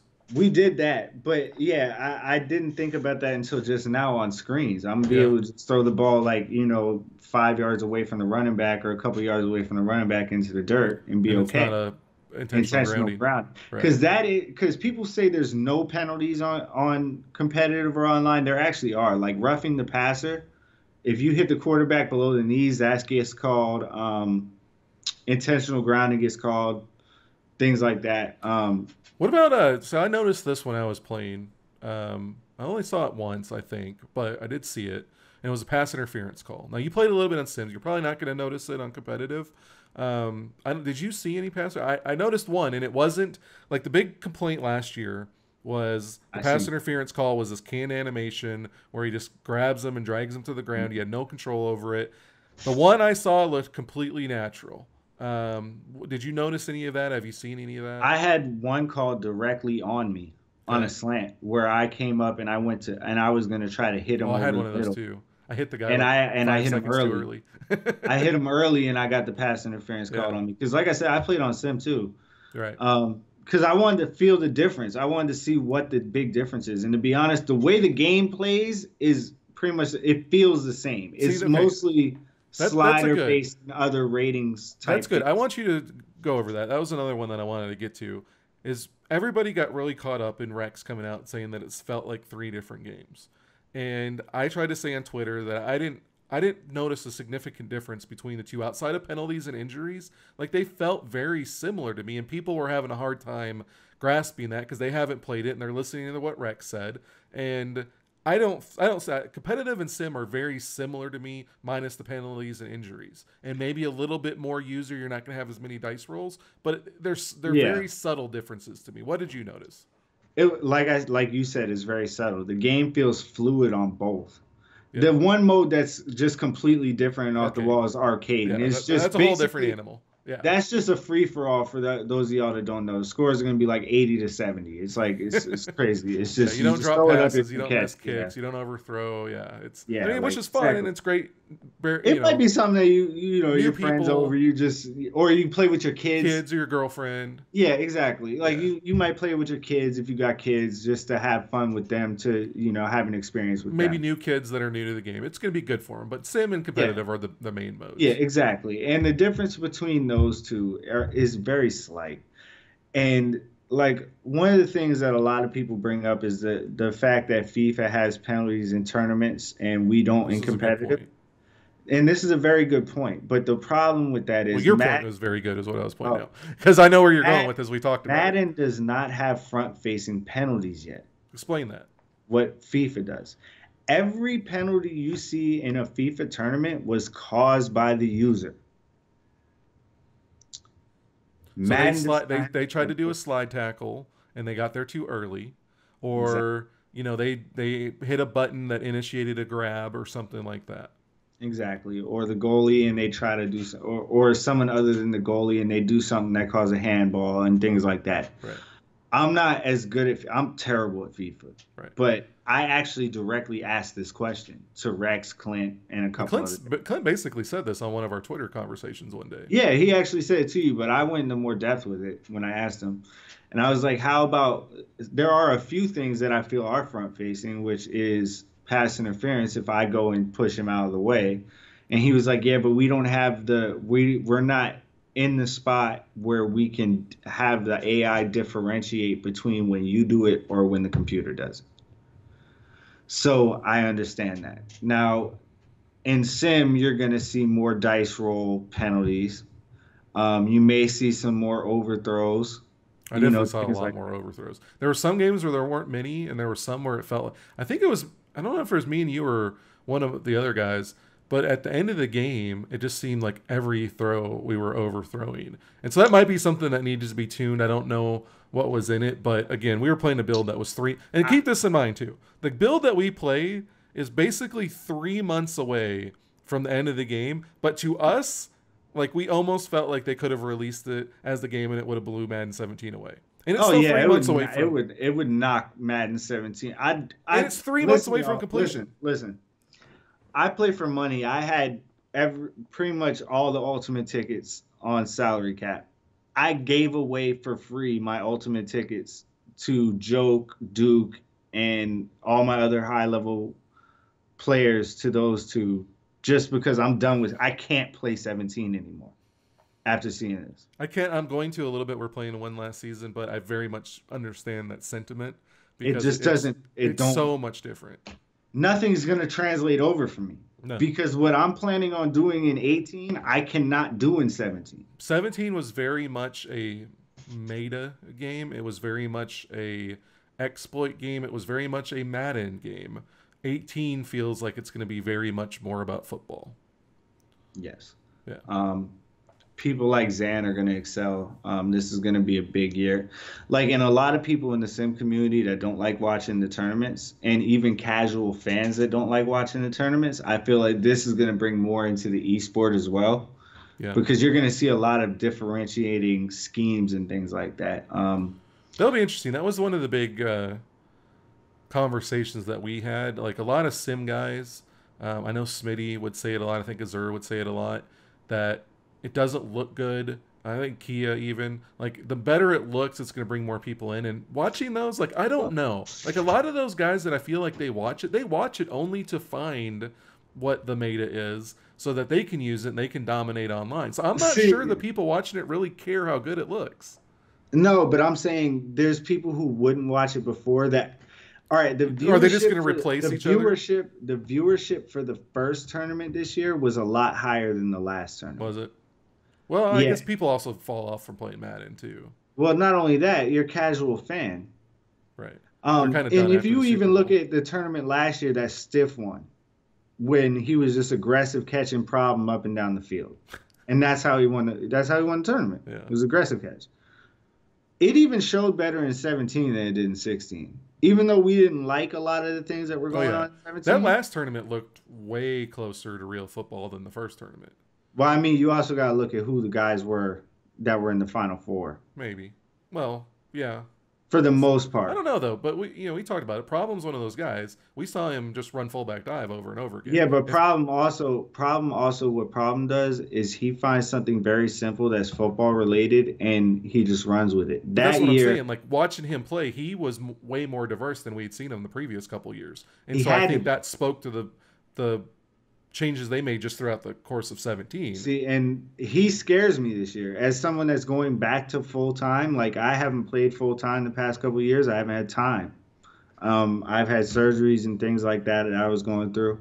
Problem scares me more than anybody this year because of the different things that he can do. Like he, he finds something very simple and gets extremely proficient at it. Um, now the fullback dive here, they took that play completely out of the game. It was it was from the IH tight where the fullback is actually lined up closer to the quarterback, and it was just glitched. It was just a problem with it. Yeah. But they didn't ban anything. Well, the Like, tight end, the, the jumping too was excessive because they had those. Oh, God. oh yeah, speaking of jumping, the those high point pop, pop passes that everybody's seen this year, that's gone. Forget that. Okay. The the quick snap um, from tight, where you just throw a high point pass immediately and you get no animation from the defense. Yeah. You can't do that anymore. Okay. That actually, that, that's funny you brought that up because I actually got beat or tied in a Super Bowl um, with that, and the guy was scored to get to a two point conversion, and then he ran that. He, I don't know if it's the same play that you're talking about, but basically he put a like a tight end on a streak, and he Mhm. just sn- snapped it through it, it right away, and it was like the defense didn't even react to it. Is that what you're No. talking about, or is that yeah, the defense reacts to it. Okay, that's that's Um, good. That's a plus because I always yeah, hated that. Like call a play, don't just use that. I felt you know that was kind of cheesy. Now, now, given if I'm sitting there and I just see you have nobody anywhere near my tight end, I mean that'll just be my hot. You know, and I mean yeah. that, that's football. I Right. mean, and I But the middle linebacker should still kind of crash on that, right? At least Well, it depends on where he is, and it depends if on you're playing like a cover two or something, you've got a middle linebacker in the middle of the field. Yeah, of course. But I mean, also you got to take into consideration: um, did you shift your linebackers? Did you move anybody anywhere? Did you Right. call a certain thing? Like, there's a lot that goes into that. That Wait, my know- linebackers were blitzing and they didn't stop that. Yeah, exactly. Hold on, wait. I changed my middle linebacker for, to a vert hook from a middle hook, and he didn't play the middle. oh, oh, oh now we're getting way too complex. No, I'm just I'm just saying, like, like you understand what I mean? right, like yeah, yeah. I know what you're saying. every zone plays different. Like so, and I mean, Is there anything else gameplay wise that you can think of that people are gonna anything that you forgot to talk about last night or that really stood out and is like, okay, this is gonna be this is gonna change. Maybe something that appeals to sim guys or I know they've added some plays. Did you notice anything different on defense? I know we got some new ones on offense. I know you were real excited about a lot of different routes and Um, defense was mostly them fixing legacy Right. issues. Well, That's like what I the banjo coverage working. Yeah, exactly. Because Banjo's been in the game, it just didn't work correctly. Which, and again, this is not a play you're going to see. It is basically a man coverage. It's just their principles against a trip Certain setup formation and, and how Yeah, a they, bunch, yeah, yeah, how bunch, they, yeah. Yeah, a bunch, not trips, how they decide to play it so you don't get rubs and have guys running open free for five yards. I tried to exploit it too. Just so you know, I did try to exploit it. I did try to exploit it with motion to see if like I could make it screw up, and the logic didn't screw up. So that brings up another one. So what about those uh, wheel routes out of the backfield? That became a kind of a meta, especially on third and long. Somebody like out of that the Cardinals um, two back shotgun formation. They put the that, Oh, you talking about split close? yeah maybe and the and the running back would go on the wheel route up the sideline and he'd always be wide open, or they'd go in a bunch and they'd move a guy wide outside. Why was that happening and what's fixing that? Well, the reason that was so popular this year was because everybody ran cover two. Okay, And so, like, if you already had three people going down the field, and then you got a wheel route, right. and it's essentially running verticals versus cover two. Okay. You understand what I mean? The wheel route would just the, by the time the wheel route got open up the sideline was coming down the sideline, the cover two safeties were already back with the vertical routes or the posts.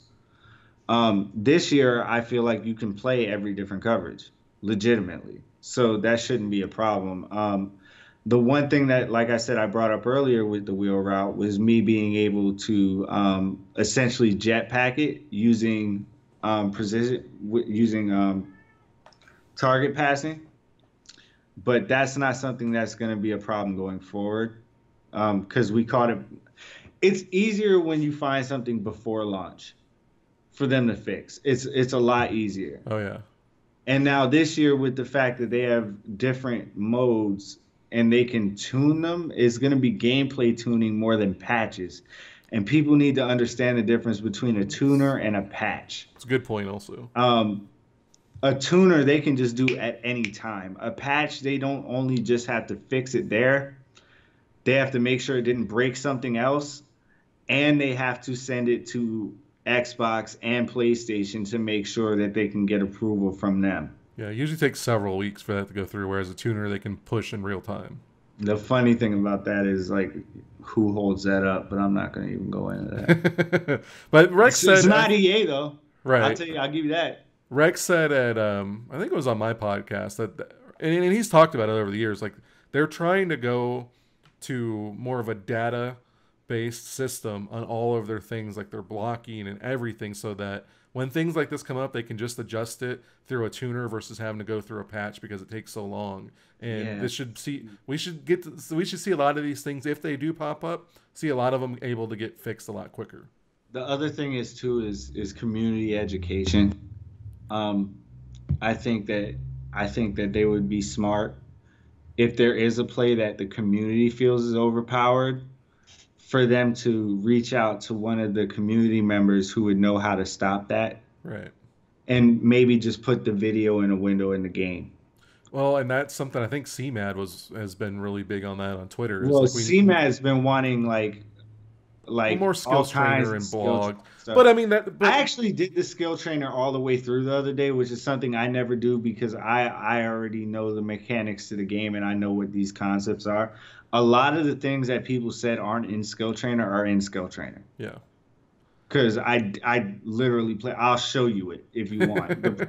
right. I actually played through it the other day. I did the gauntlet too. Um, a lot of it was there, but I think it can be built upon. Right. Um, but, but, I think your idea of like taking stuff like having Zan or even NY Kia or you or you know a lot of these guys and making videos and then embedding them right in the game so you can watch them would go a huge. That stretch patch wouldn't have happened. Huh?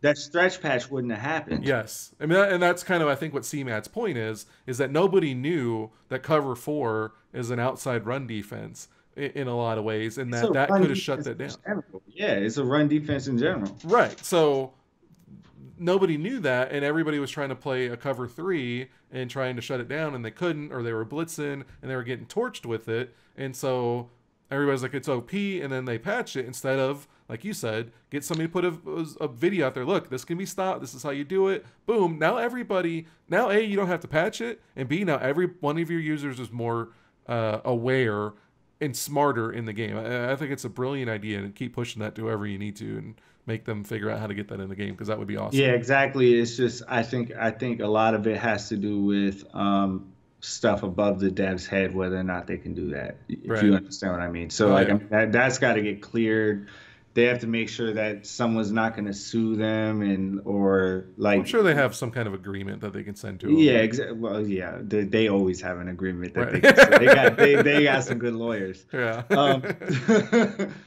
but yeah and and another thing i don't want a lot of people that are leaking cell phone footage i wanted to touch on oh, this yeah. real quick yeah that's good y'all need to stop analyzing this cell phone footage because it does not give the game justice visually number one because I'm gonna tell you right now, if you think this game looks like 17, you're bugging. I was about to go there with with that, but go through the cell phone, then we'll talk about the okay. differences there, visually. One, there's one video going around where the guy guy was mad that Cam Newton rolled out to the right and was able to get outside the pocket, and the defensive end didn't do anything. on that play, I don't know if it was stock or he did the line crash himself. First of all, the line was pinched. Second of all, it was crashed either to the left or down. I couldn't tell because it only showed the right side of the line. Yeah. But he was crashing, the defensive end was crashing into the B gap. The right tackle, as he should, turned him inside and got leverage on him as Cam rolled outside of the pocket, which is exactly what should happen. Right. However, you got one person, you know, just trying to grab views. And by the way, guys, they were very strict about no cell phones, no cell phones, no cell phones, no recording, no this, because they wanted the game. They, it's their first year on Frostbite, and it made such a big difference visually. They got the Xbox One X coming.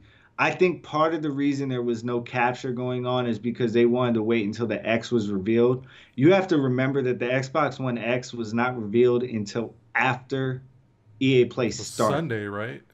It was either Saturday or Sunday. It was, I sun- it was Sunday it was because sun- yeah, we started on Sunday. Saturday. yeah, it was Sunday. But we did have PS4 Pro, and that wasn't even the finished graphical look. And you could clearly see the difference Yes. between Xbox One, the regular Xbox One, and PS4 Pro. So we'll talk about that a little bit. You know, obviously the, the the these cell phone videos they're not giving it justice. Yes, they can kind of very much look like 17 in a lot of ways because you're not seeing everything from a cell phone. Also, like you're saying, you don't know what adjustments have been made that maybe the user created some of these things that people are trying to point out being Exactly. flaws.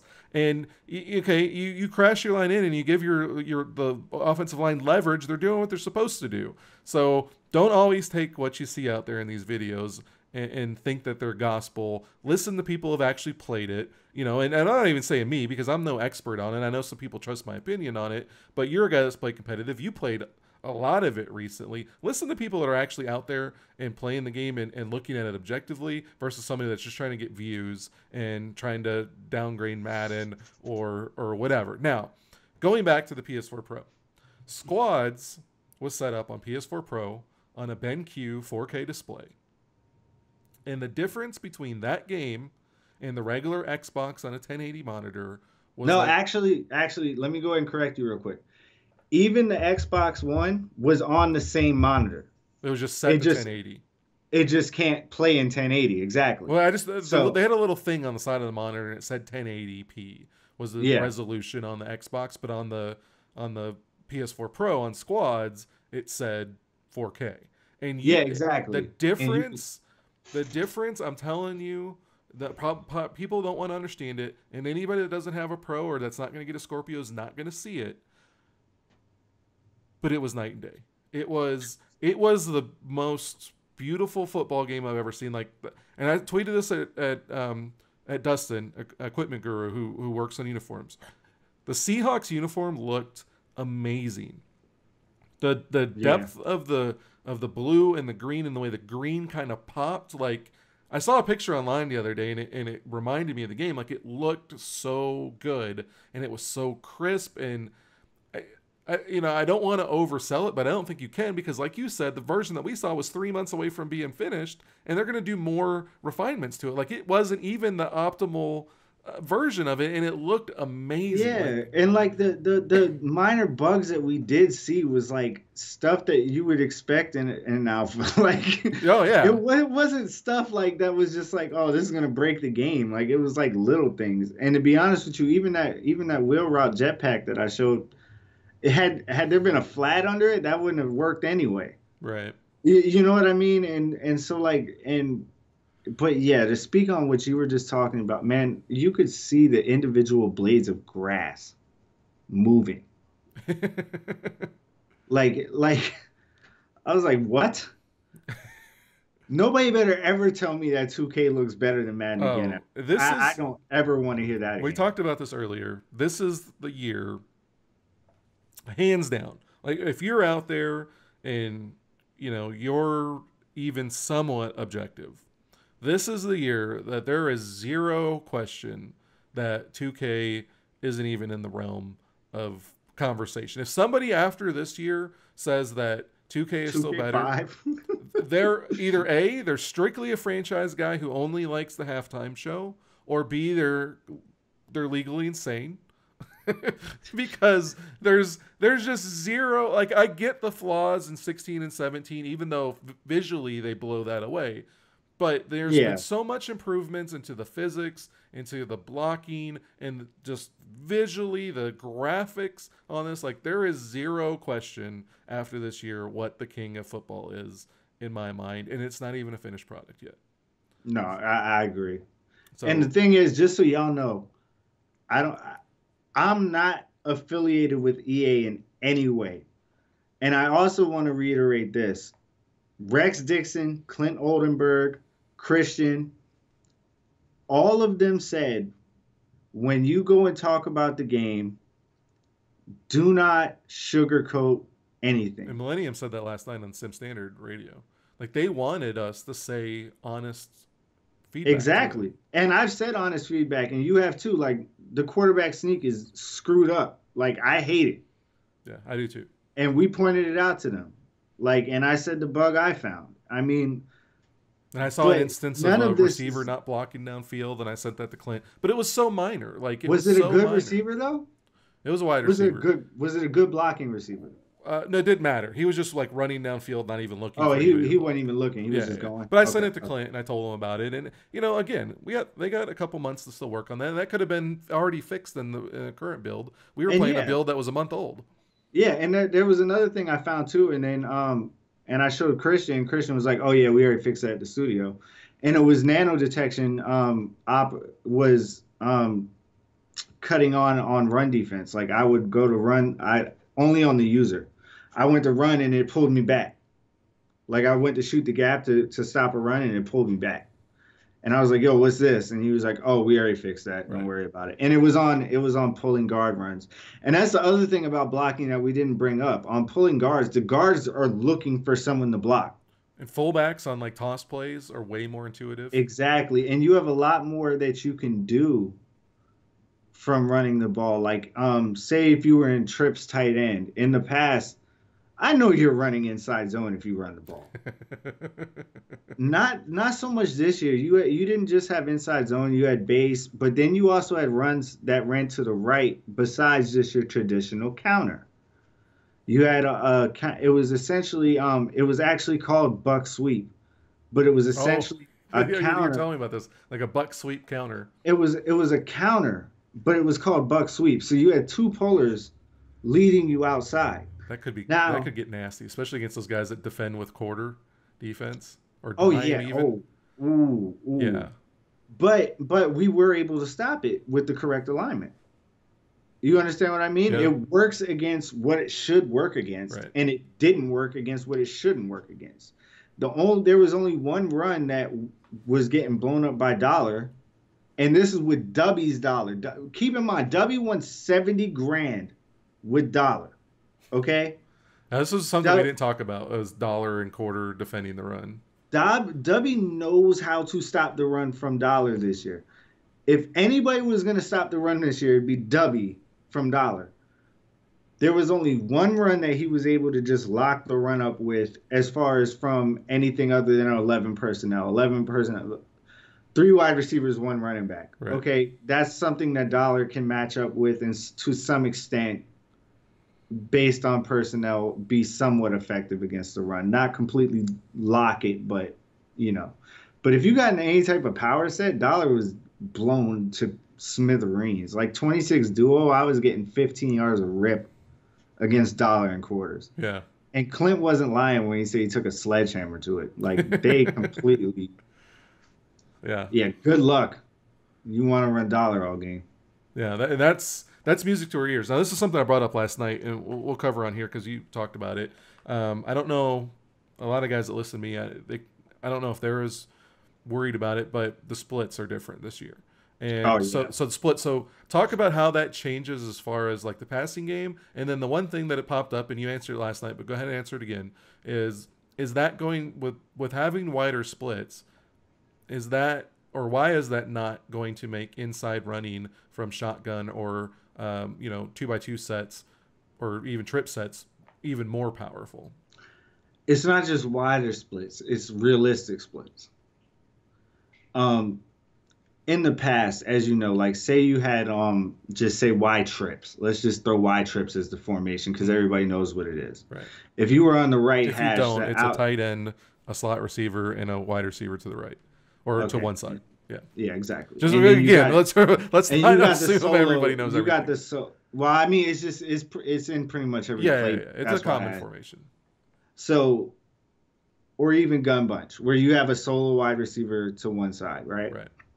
if you were on the right hash before that wide receiver it didn't matter he was set to a certain distance from the left tackle Okay.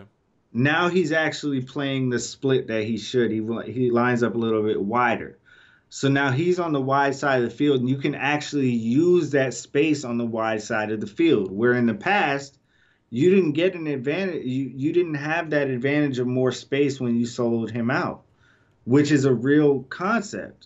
So And now they're more set to like if he's gonna be set up on the outside of the numbers, that that's where he would be set up now versus being a specific distance from the tackle. exactly in the past, it was a set distance Right. for each receiver instead of where he would line up based on the formation. Right. As you got Because from in real life, they typically line up based on the hashes or the numbers, but in Yeah. the game, they were based on yardage from the tackles or tight ends. distance from the tackle, distance from the offensive line. Right. You would see them in the exact same spot. Like if you were to take practice mode and start in the middle, right? Start in the middle of the two hashes, Mhm. directly in the middle of the center of the field. If you were to just stop the play and move the ball to the right, to the right hash, you would see everybody shift the exact amount of exact amount of space. So that's not realistic. They fixed the splits. Do I feel like that's a problem in the run game? No. Because when you're going to have a solo receiver out there, that's also going to be the weak side of your formation. Um, if you run inside zone to that side, as long as you have a linebacker on that weak side playing that run fit as the force defender, he should be able to cut it back inside, force you back inside. What if you run like a trips formation, and let's say you got three wide receivers to one side, one to the other, and you're in dime, and you've got four four D linemen and a linebacker. Last year, that was pretty powerful to run inside zones from. Like you said, if somebody was in trips, you knew they were running inside zone. So how would something like that be? Why would that be better? year? That splits wouldn't affect that. Okay. Um, like a trips formation like that. You that. just think of splits, you think they're further away, so it's even more room up the middle. But Um, you would. That's the way you would you would imagine it, just thinking about it. But it, it's more so the run you call versus the personnel you see versus the shift you see versus uh, it. It's all more realism. well, the reach tackles will play a bigger role in that too. Yeah, exactly. Oh yeah, we didn't even say that. just popped in my Okay, head. yeah, yeah. Like if you're stuck, if you get stuck on a lineman, or or you're being blocked, or anything like that. If you're near a quarterback or a running back, you can press left bumper to reach out to your li- linebacker or lineman's left to grab somebody, or you can press right bumper to reach out to the right and grab somebody. Um, also, the canned animations on the runs, where if you ran into somebody, you would just get like that weird stuck and then spin move thing. That's gone. And this is something that happened with me and PX. We were testing 26 Duo. Um, and I blitzed. I was running a cover four with um, a cover four mic and I was flipping it. So essentially, I was blitzing from the opposite side of the run because I wanted to see what would happen. And essentially, what happened, my defensive tackle or my defensive end, and, think this is three four odd now, got enough push on his guard to actually push him into the way of the halfback. And what happened was the halfback stopped, essentially put up his hand on the back and kind of like stutter stepped. And PX was able to cut it back up the middle of the field.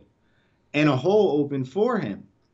And now, see, the thing was, I over pursued because in past Maddens, there's no way you're going back up the middle of the field with that. Yeah, you're running behind into your behind your center or whatever. Like you can't make that little subtle cut up the middle. So you have to keep gap integrity in this game, which is that immediately showed me you have to keep gap integrity and you can make people pay for it. Right, and that's what they Which sold last year, and that, and people are going to hear that and they're going to be like, "Well, that's what you said last year." But the difference was is you had those over pursuing or the the over corrections on your cuts and stuff like that, and uh, there's so much has changed with it. But this year, you really do That- have that to protect your organic an- that organic animation changes a lot Yeah. like because it, last year like i said if you ran into if you got too close to a lineman he kind of gets sucked into the Yeah. lineman and then do like a can spin move that's gone like Yeah. they actually slow down and you have to make the decision where to go And it's and again, it looks so much more realistic when he's running up there and he slows down and he puts his hand off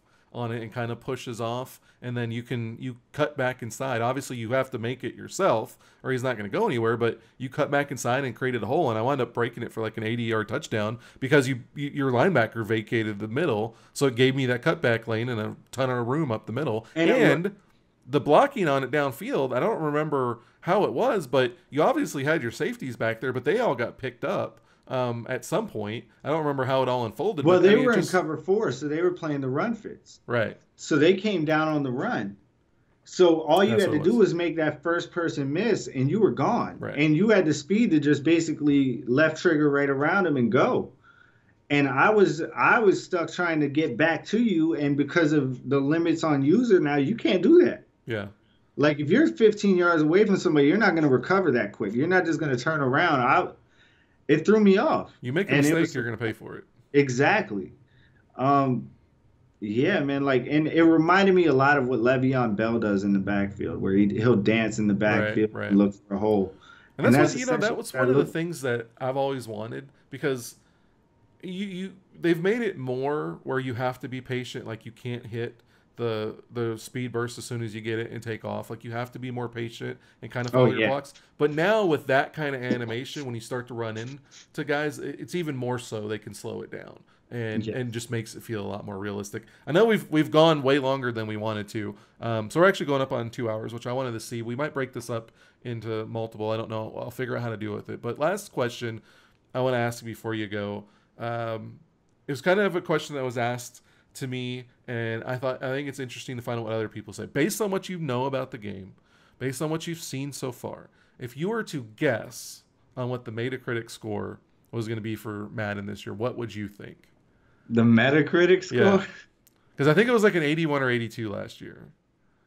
If they gave that an 81 last year, man, that thing better be higher than that. I know that. I, Yeah. I know. Look, all right. What would you grade it on a scale of one to ten? Right now, probably an eight and a half. But last Okay. year, I would have graded at like a five or a six. See, I gave last year a seven, um, but see, I also play franchise, so that, that plays into it a little bit too, which is not something that you're you're you're pretty much just MUT and playing competitive. So But I'm looking at it from a variety standpoint too, Right. like what you're able to do. And I'm looking at it the day the game came out, I probably would have gave it a seven. see, I probably um, would have gave it an eight and a half when it came out, but then I downgraded it to seven the more we went along, and you downgraded. Well, even the even the day it came out, I, I had already found stuff. right. Like well, you look at like- it in a different way than we do. this year, this year, like I in the amount of time that I normally find stuff, I had enough time, ample time to find what I would normally Okay, find. so you said an eight and a half. That's a big gap. Like me personally, I think when they first asked me that, I said 83 or 84, but I said based on what I saw, it should be like a 90. Like this, I feel like this game could be the first man in a long time to get a 90, but I was kind of worried that it doesn't seem like a whole lot's been done to franchise, that that might hold it back a little bit. But things like squads and the story mode might, I don't know, it might counteract it. I don't know. Here's the thing. If I don't know if you've been watching Rex's Twitter, but they got nominated for best in show a lot. I saw that. I saw that. So that's A what I'm saying. Like I think I'm I'm walking back on my projection of like an 83, 84, 85. I'm probably thinking I'm probably thinking 87, 88, yeah. So what? maybe okay, so higher. with that being said, what's still But missing? they're hard to judge. They're What- hard to judge. What's still missing then that keeps it from being a 10 or a 9.9? Um, I don't know how they're gonna look at Longshot. But you even said from if you were going to grade it, you would give it like an an 85. But I'm looking at it from my perspective. I'm talking Well, that's what I'm saying. From your perspective, what's still missing that they need to work on? Uh, I would like to see more defensive formations, which I actually know they're trying to get more in the game. It's just a matter of whether they can or not. there's a few things I can't say that kind of like disappoints me a little. Um, actually, actually, now I just remembered something. I actually got to bring that up. I'm probably talking like 90 now. The coach adjustments. Oh yeah, we didn't even talk about coaches, and I didn't even Yeah. use them while we were out there. I did. Did you? Okay, now this I asked Rex this on Twitter, and I didn't get a response on it. So we keep going. We keep finding things to talk about. One thing, okay, I like the best on best. If I want to put Josh Norman on Dez Bryant or whoever, I can do that. But what if I'm playing as the Seahawks and I want Richard Sherman just to play on the left? Can I do that? Can I turn off those coach adjust that coach adjustment? Yeah. How? You can. Ch- all right. Look, here's all the different. There was so many different things. Auto flip was within the coach adjustments, so you could turn it on and off throughout the game That's nice. without pausing it. Okay. Um, when you went through best on best and defensive assignments, you could you could do it by overall. So Richard Sherman would follow the best overall receiver regardless of where you subbed them in at. Right. You could do it based on speed. You could do it based on height and weight. You could, or just size in general. Um, and if you just wanted him to play in the slot all game long, nonstop, you could just manually sub him in right there. That's that's. I didn't. I don't think you can do that from the coach adjustments. I kind of misunderstood for a second. It took a second to. Will that override Process. the coach adjustment though? If you if you want Yes. Like I just want to play him on the left side of the field, or if I want to, if I want to manually, sw- like before, you could do your um, your uh, formation subs from the, from the play call screen. If you wanted to have a true boundary or field corner, you could do that in theory by just flipping them back and forth. Like, can you Mm-hmm. still do that now, or is it all Yeah, you can still do that. okay? Okay, It, it- everything's been added on top of what was already there. okay. um, other than the legacy bugs that were taken out or fixed. Um, but coach adjustments in general is going to change the game. I mean, you got if you people who played the old NCAA games, if you remember that you could, you know, play the D line aggressive or conservative as far as pass rush or balance. This is going to play a big role in sim leagues too, by the way. Mhm. Um, Well, and late, Penalties. late game situations, trying to strip a fumble. Yeah, strips you can play aggressive. Interceptions you can play aggressive or conservative or balanced. But you're gonna there's a risk reward to that. That's gonna be interesting to see if, If you how well pass- those are balanced. It, it felt actually actually when I put pass rush on aggressive, I got run on easier. Okay, that's good. Um, they over pursued. They over pursued. okay. Um, if you put pass blocking on aggressive on sim mode, you got a lot more holding. Um, you also on competitive mode and sim mode, you got more block sheds against you. You would have times where your line would hold up a lot longer, but then you'd have times where you get shed really quick. So which all what are all the adjustments? You could play aggressive line, aggressive strip, aggressive block, It's aggressive- interception. It's aggressive, conservative, and balanced for all three. For for all of them. For what Um, were the different ones you could do? You could do it with secondary. You could do it with strips. You could do it with D line, O line, um, wide receivers playing the ball in the air. Okay. Um, What about did they have the running back one where you could fight for yardage or be more conservative? yes, fight for extra yards is there. Okay. Um, and then there's a. I gotta stop there. Okay. all right. That, that, wasn't that wasn't a hint or anything. we might have to edit that out. No, no, no. I'm saying like there may be things that may come in the future, like 19 or something like that. You know, Well- just That's um, actually talking about that. We'll we'll wrap up on this real quick. Rex said that in his interview with uh, Sim um, about franchise that they can now working with 2K or with NBA Live that they can their franchise they can drop live content into the franchise. Probably not going to happen this year, but that was something that they talked about just with general gameplay before. Was that with the They- tune, kind of like we talked about Now with the that- tuners? now that they're all on frostbite the Yeah. thing is one of the big things is they can work with each other to solve certain bugs Right. um, when one team finds a bug it's usually probably going to be in the engine somewhere in the other teams Right. so they can all work together to fix it so Somebody asked me that on Twitter today, and it's we- important that people understand that. when like, when they find a bug, that's all the teams together. And it's not just live and Madden who are in the no. same building. It's FIFA. Battlefield, Battlefront. I mean, you know, I'm, I mean, guessing they, Need for Speed, any of that, like I weather, mean, they, lighting, physics. Yeah, yeah, it's crazy. Yeah, if one of those studios comes up with, because I know they talked about it last year before they even went to it, and they were talking about Battlefront and how the um, the different planets had different weather and like the snow and stuff like that. And Rex said that weather got an upgrade this year, but it's not to where they want it yet. But you well, they want full at, dynamic. They want full dynamic. Right, full dynamic where it changes throughout the game, and you see a lot of the weather effects, like in Battlefront, where the snow is kind of blowing and you get the footprints in it. Like that kind of stuff was made on a game that's not a sports game, but now they can take that kind of code and put it in the Madden because that technology's already been created. And if they create something new with some kind of new type of physic or anything like that, Madden can borrow that, or Live can borrow that, NHL can borrow it. Now it's just this huge ecosystem of designers all working on the same engine that can now easily share back and forth. Or, like you said, if there's a bug that they find, it might be a bug that's inherent to the engine that now all of the developers can all work together and solve it much more quickly. Um, so it's it's basically it's going to allow all games, but mostly the sports games who are new to it, to develop wider, maybe like as a you know wider and and fuller. Just get a more deeper game. Instead of kind of being a, like ignite i kind of feel like was down this this singular path that was a two lane road. And now with with frostbite it's more like a four lane highway on or, or eight lane right. highway. Four lanes going each way and they've got so much more that they can do with it. It's going to allow them to grow quicker and and and more expansive.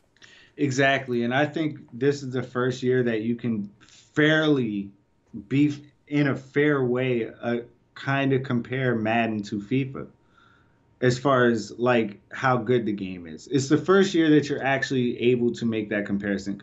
FIFA started with such a head start on Rex and Clint when they got there that I don't think that that comparison's been fair. Well, it's, it's not. It's never fair because you don't have eleven guys running set well, plays no, against I'm just talking other. About, I'm just talking about gameplay. Just visually, like graphics, just visually and, and graphics, stadiums. And just, we'll see the yeah, stadium intros and stuff this year. Will be a lot. Oh, they different. look they look better. I mean, yeah. like a lot of things look better. Um, like I seen people asking about mouthpieces, and no, there's no mouthpieces in the game. I actually spoke directly to Christian about that. I was like, I know you've seen that all year. He was like, Yeah, but like, I mean, on our priority list, you know, like mouthpieces, okay, Not it's some it's something be. that we can add eventually, but we fix 40 legacy bugs. Right. you know what I mean? Let's like, look at the positives here. So that means 40 things in gameplay that we've had problems with over the past three years and further back than that are fixed now. So just think about Madden 17. If they fixed 40 bugs in Madden 17 that were huge legacy issues, zone related, things like that, directly to gameplay, if they just fix those 40 problems on Madden 17, you got a different game. Oh, yeah. Way different game. So now you add in the Frostbite engine with all that stuff fixed, new plays on offense, uh, everything working differently. It, it, man, this is the I've been playing Madden since I was six years old. I am 30. This is the best version of Madden I have seen, and it hadn't even officially released yet. And it's not even close. And you know, the, see, everybody's going to say, well, they say that every year, and then they they patch something. I don't. Well, I will say that I thought it last year at launch, but I also, I mean, I looked. They did a lot with franchise. You know, graphically, it looks better. This is a different this is a different saying that. This is not like, well, yeah, obviously it's the best because it's the newest and it's got the better graphics and you know they no no no no no. This is it's so much has been fixed, so much has been improved. You know, things like MUT Squad and and and Longshot being added. I know franchise doesn't seem to have gotten a lot. I don't know what's going to happen when they come out with. I don't know if they add anything, but even without it, there's just so much in this game that it's like you said, without a doubt, hands down, it's the best. best football game ever made. No It's question. Not even close. It's not even close. It's not. It, it it's I, not. I don't want to hear all this Axis talk or all this other unbranded talk or just update 2K5's rosters. And and here's one thing I want to point out. I could literally upload gameplay right now of me of me sending four people and and getting three free on NBA on NFL 2K5. YouTube was not around then. Yeah. YouTube came around 2007, I believe. But we've already done this experiment and broken 2K5. It's Okay, so- revisionist history. You know, you Exactly. It's at the time this game was good. I actually played 2K5 at the same time that Madden 05 was out. Madden 05 was a down year for Madden. I'm not gonna lie. I thought it was That's good. why that was my favorite Madden, but Really, I thought 04 was better than 05 by a long shot. But I didn't like it- 04 just because Vick you could run around like crazy with him. Oh, I loved it. I see, But and this is the thing: is that it depends on what you're looking at, on how you how you grade the game.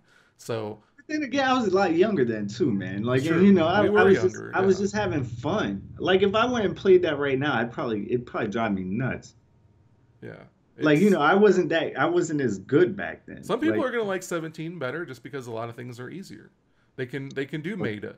The, you know that that's gonna be that's gonna be a risk for some guys. I don't think my audience necessarily, but there's going to be a lot of people that are. I heard somebody say it at EA Play that they didn't like it because it felt a little bit slower and it was it was it was definitely harder.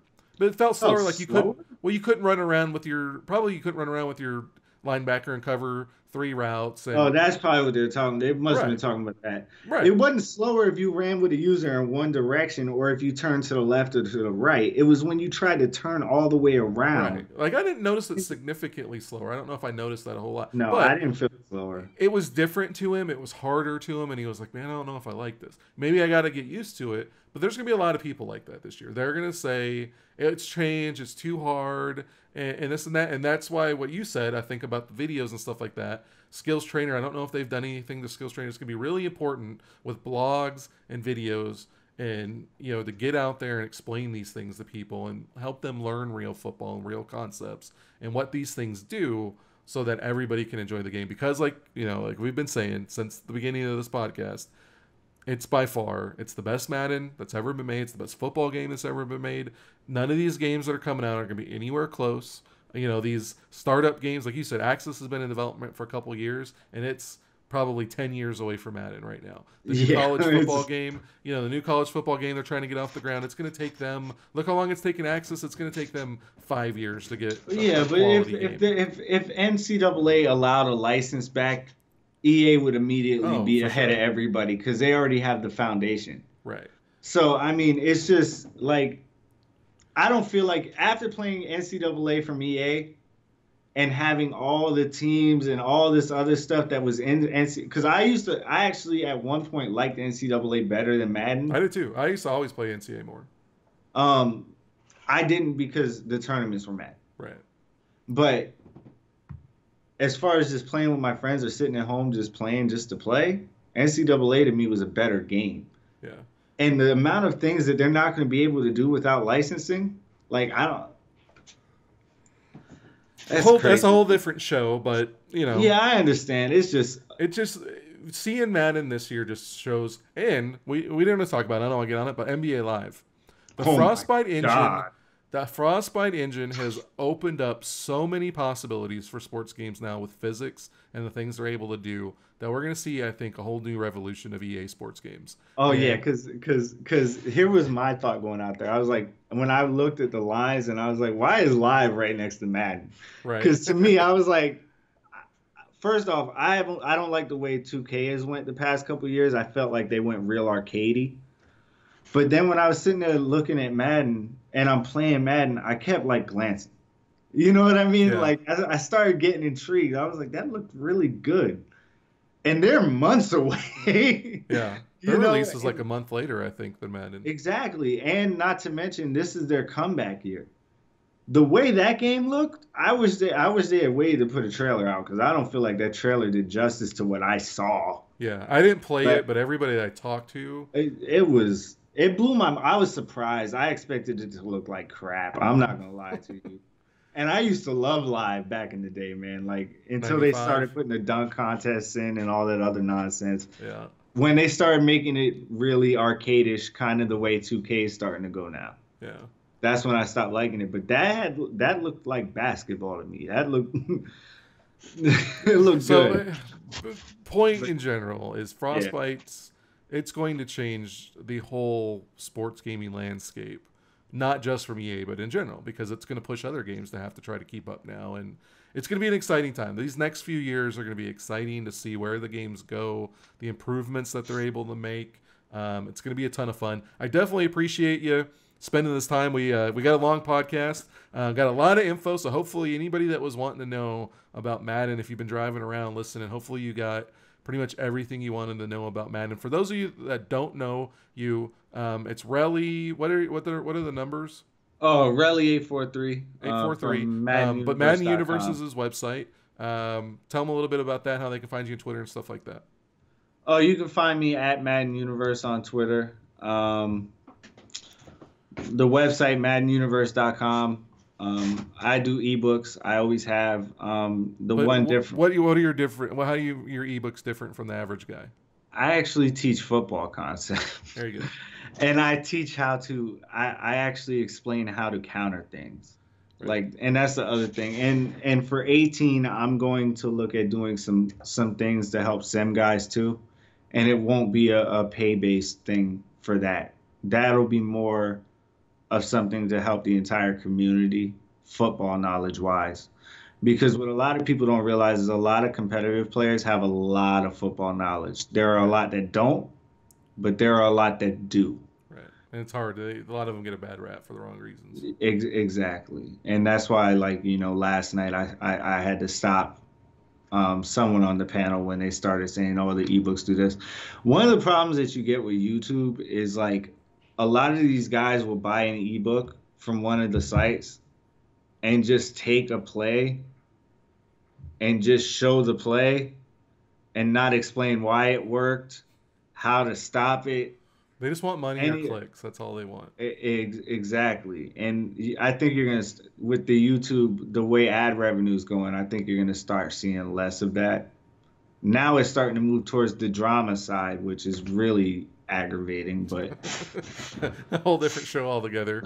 But Madden Oh, Universe, God. MaddenUniverse.com, at Madden Universe on Twitter. Definitely look him up. He's got tons of great info. He's going to be in, active in the competitive game this year. So we'll uh, yeah, I'll be see back. Yeah, I'll be back this year. Definitely Yes, see you moving up the leaderboard. Maybe you can get a game in with them. Uh, you run across them, might not be in the uh, best of your win loss record, but you might learn you might learn some things on the way. And uh, definitely, you got a YouTube channel too, or you put your stuff on your website.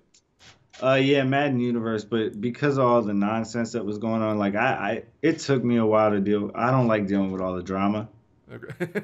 so like I'll I'll randomly throw some up there, but I'm probably gonna use it a little more this year. Just follow him on Twitter, and you'll you'll, you'll yeah. know what he's got. Yeah, you'll know when I put something up. Like I advertise it on Twitter the most. That's what I use the most. Right.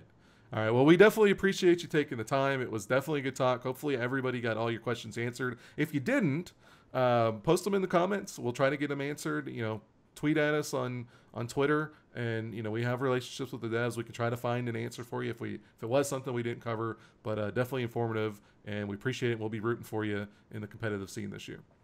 Oh, I appreciate it. And even if you're sim, don't don't be afraid to ask me a question.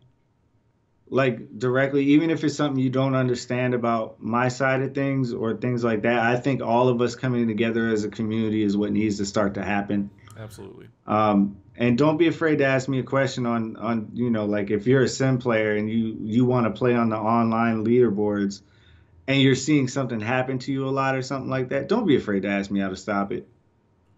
It can also be something Like, that can uh, help your league too, because you find something you can tell everybody in your league, and then now it's not an issue. Yeah, exactly. So just just throwing that out there, like because All right. Well, we appreciate it again. We'll touch base definitely uh, as we keep going along in the Madden season. You guys have a good one. Thank you for listening to another episode of the PX1 Sports Radio Podcast. For more, you can find us on Twitter at PX1 Sports or online at px1sports.com. Thank you for listening, and we will see you next time.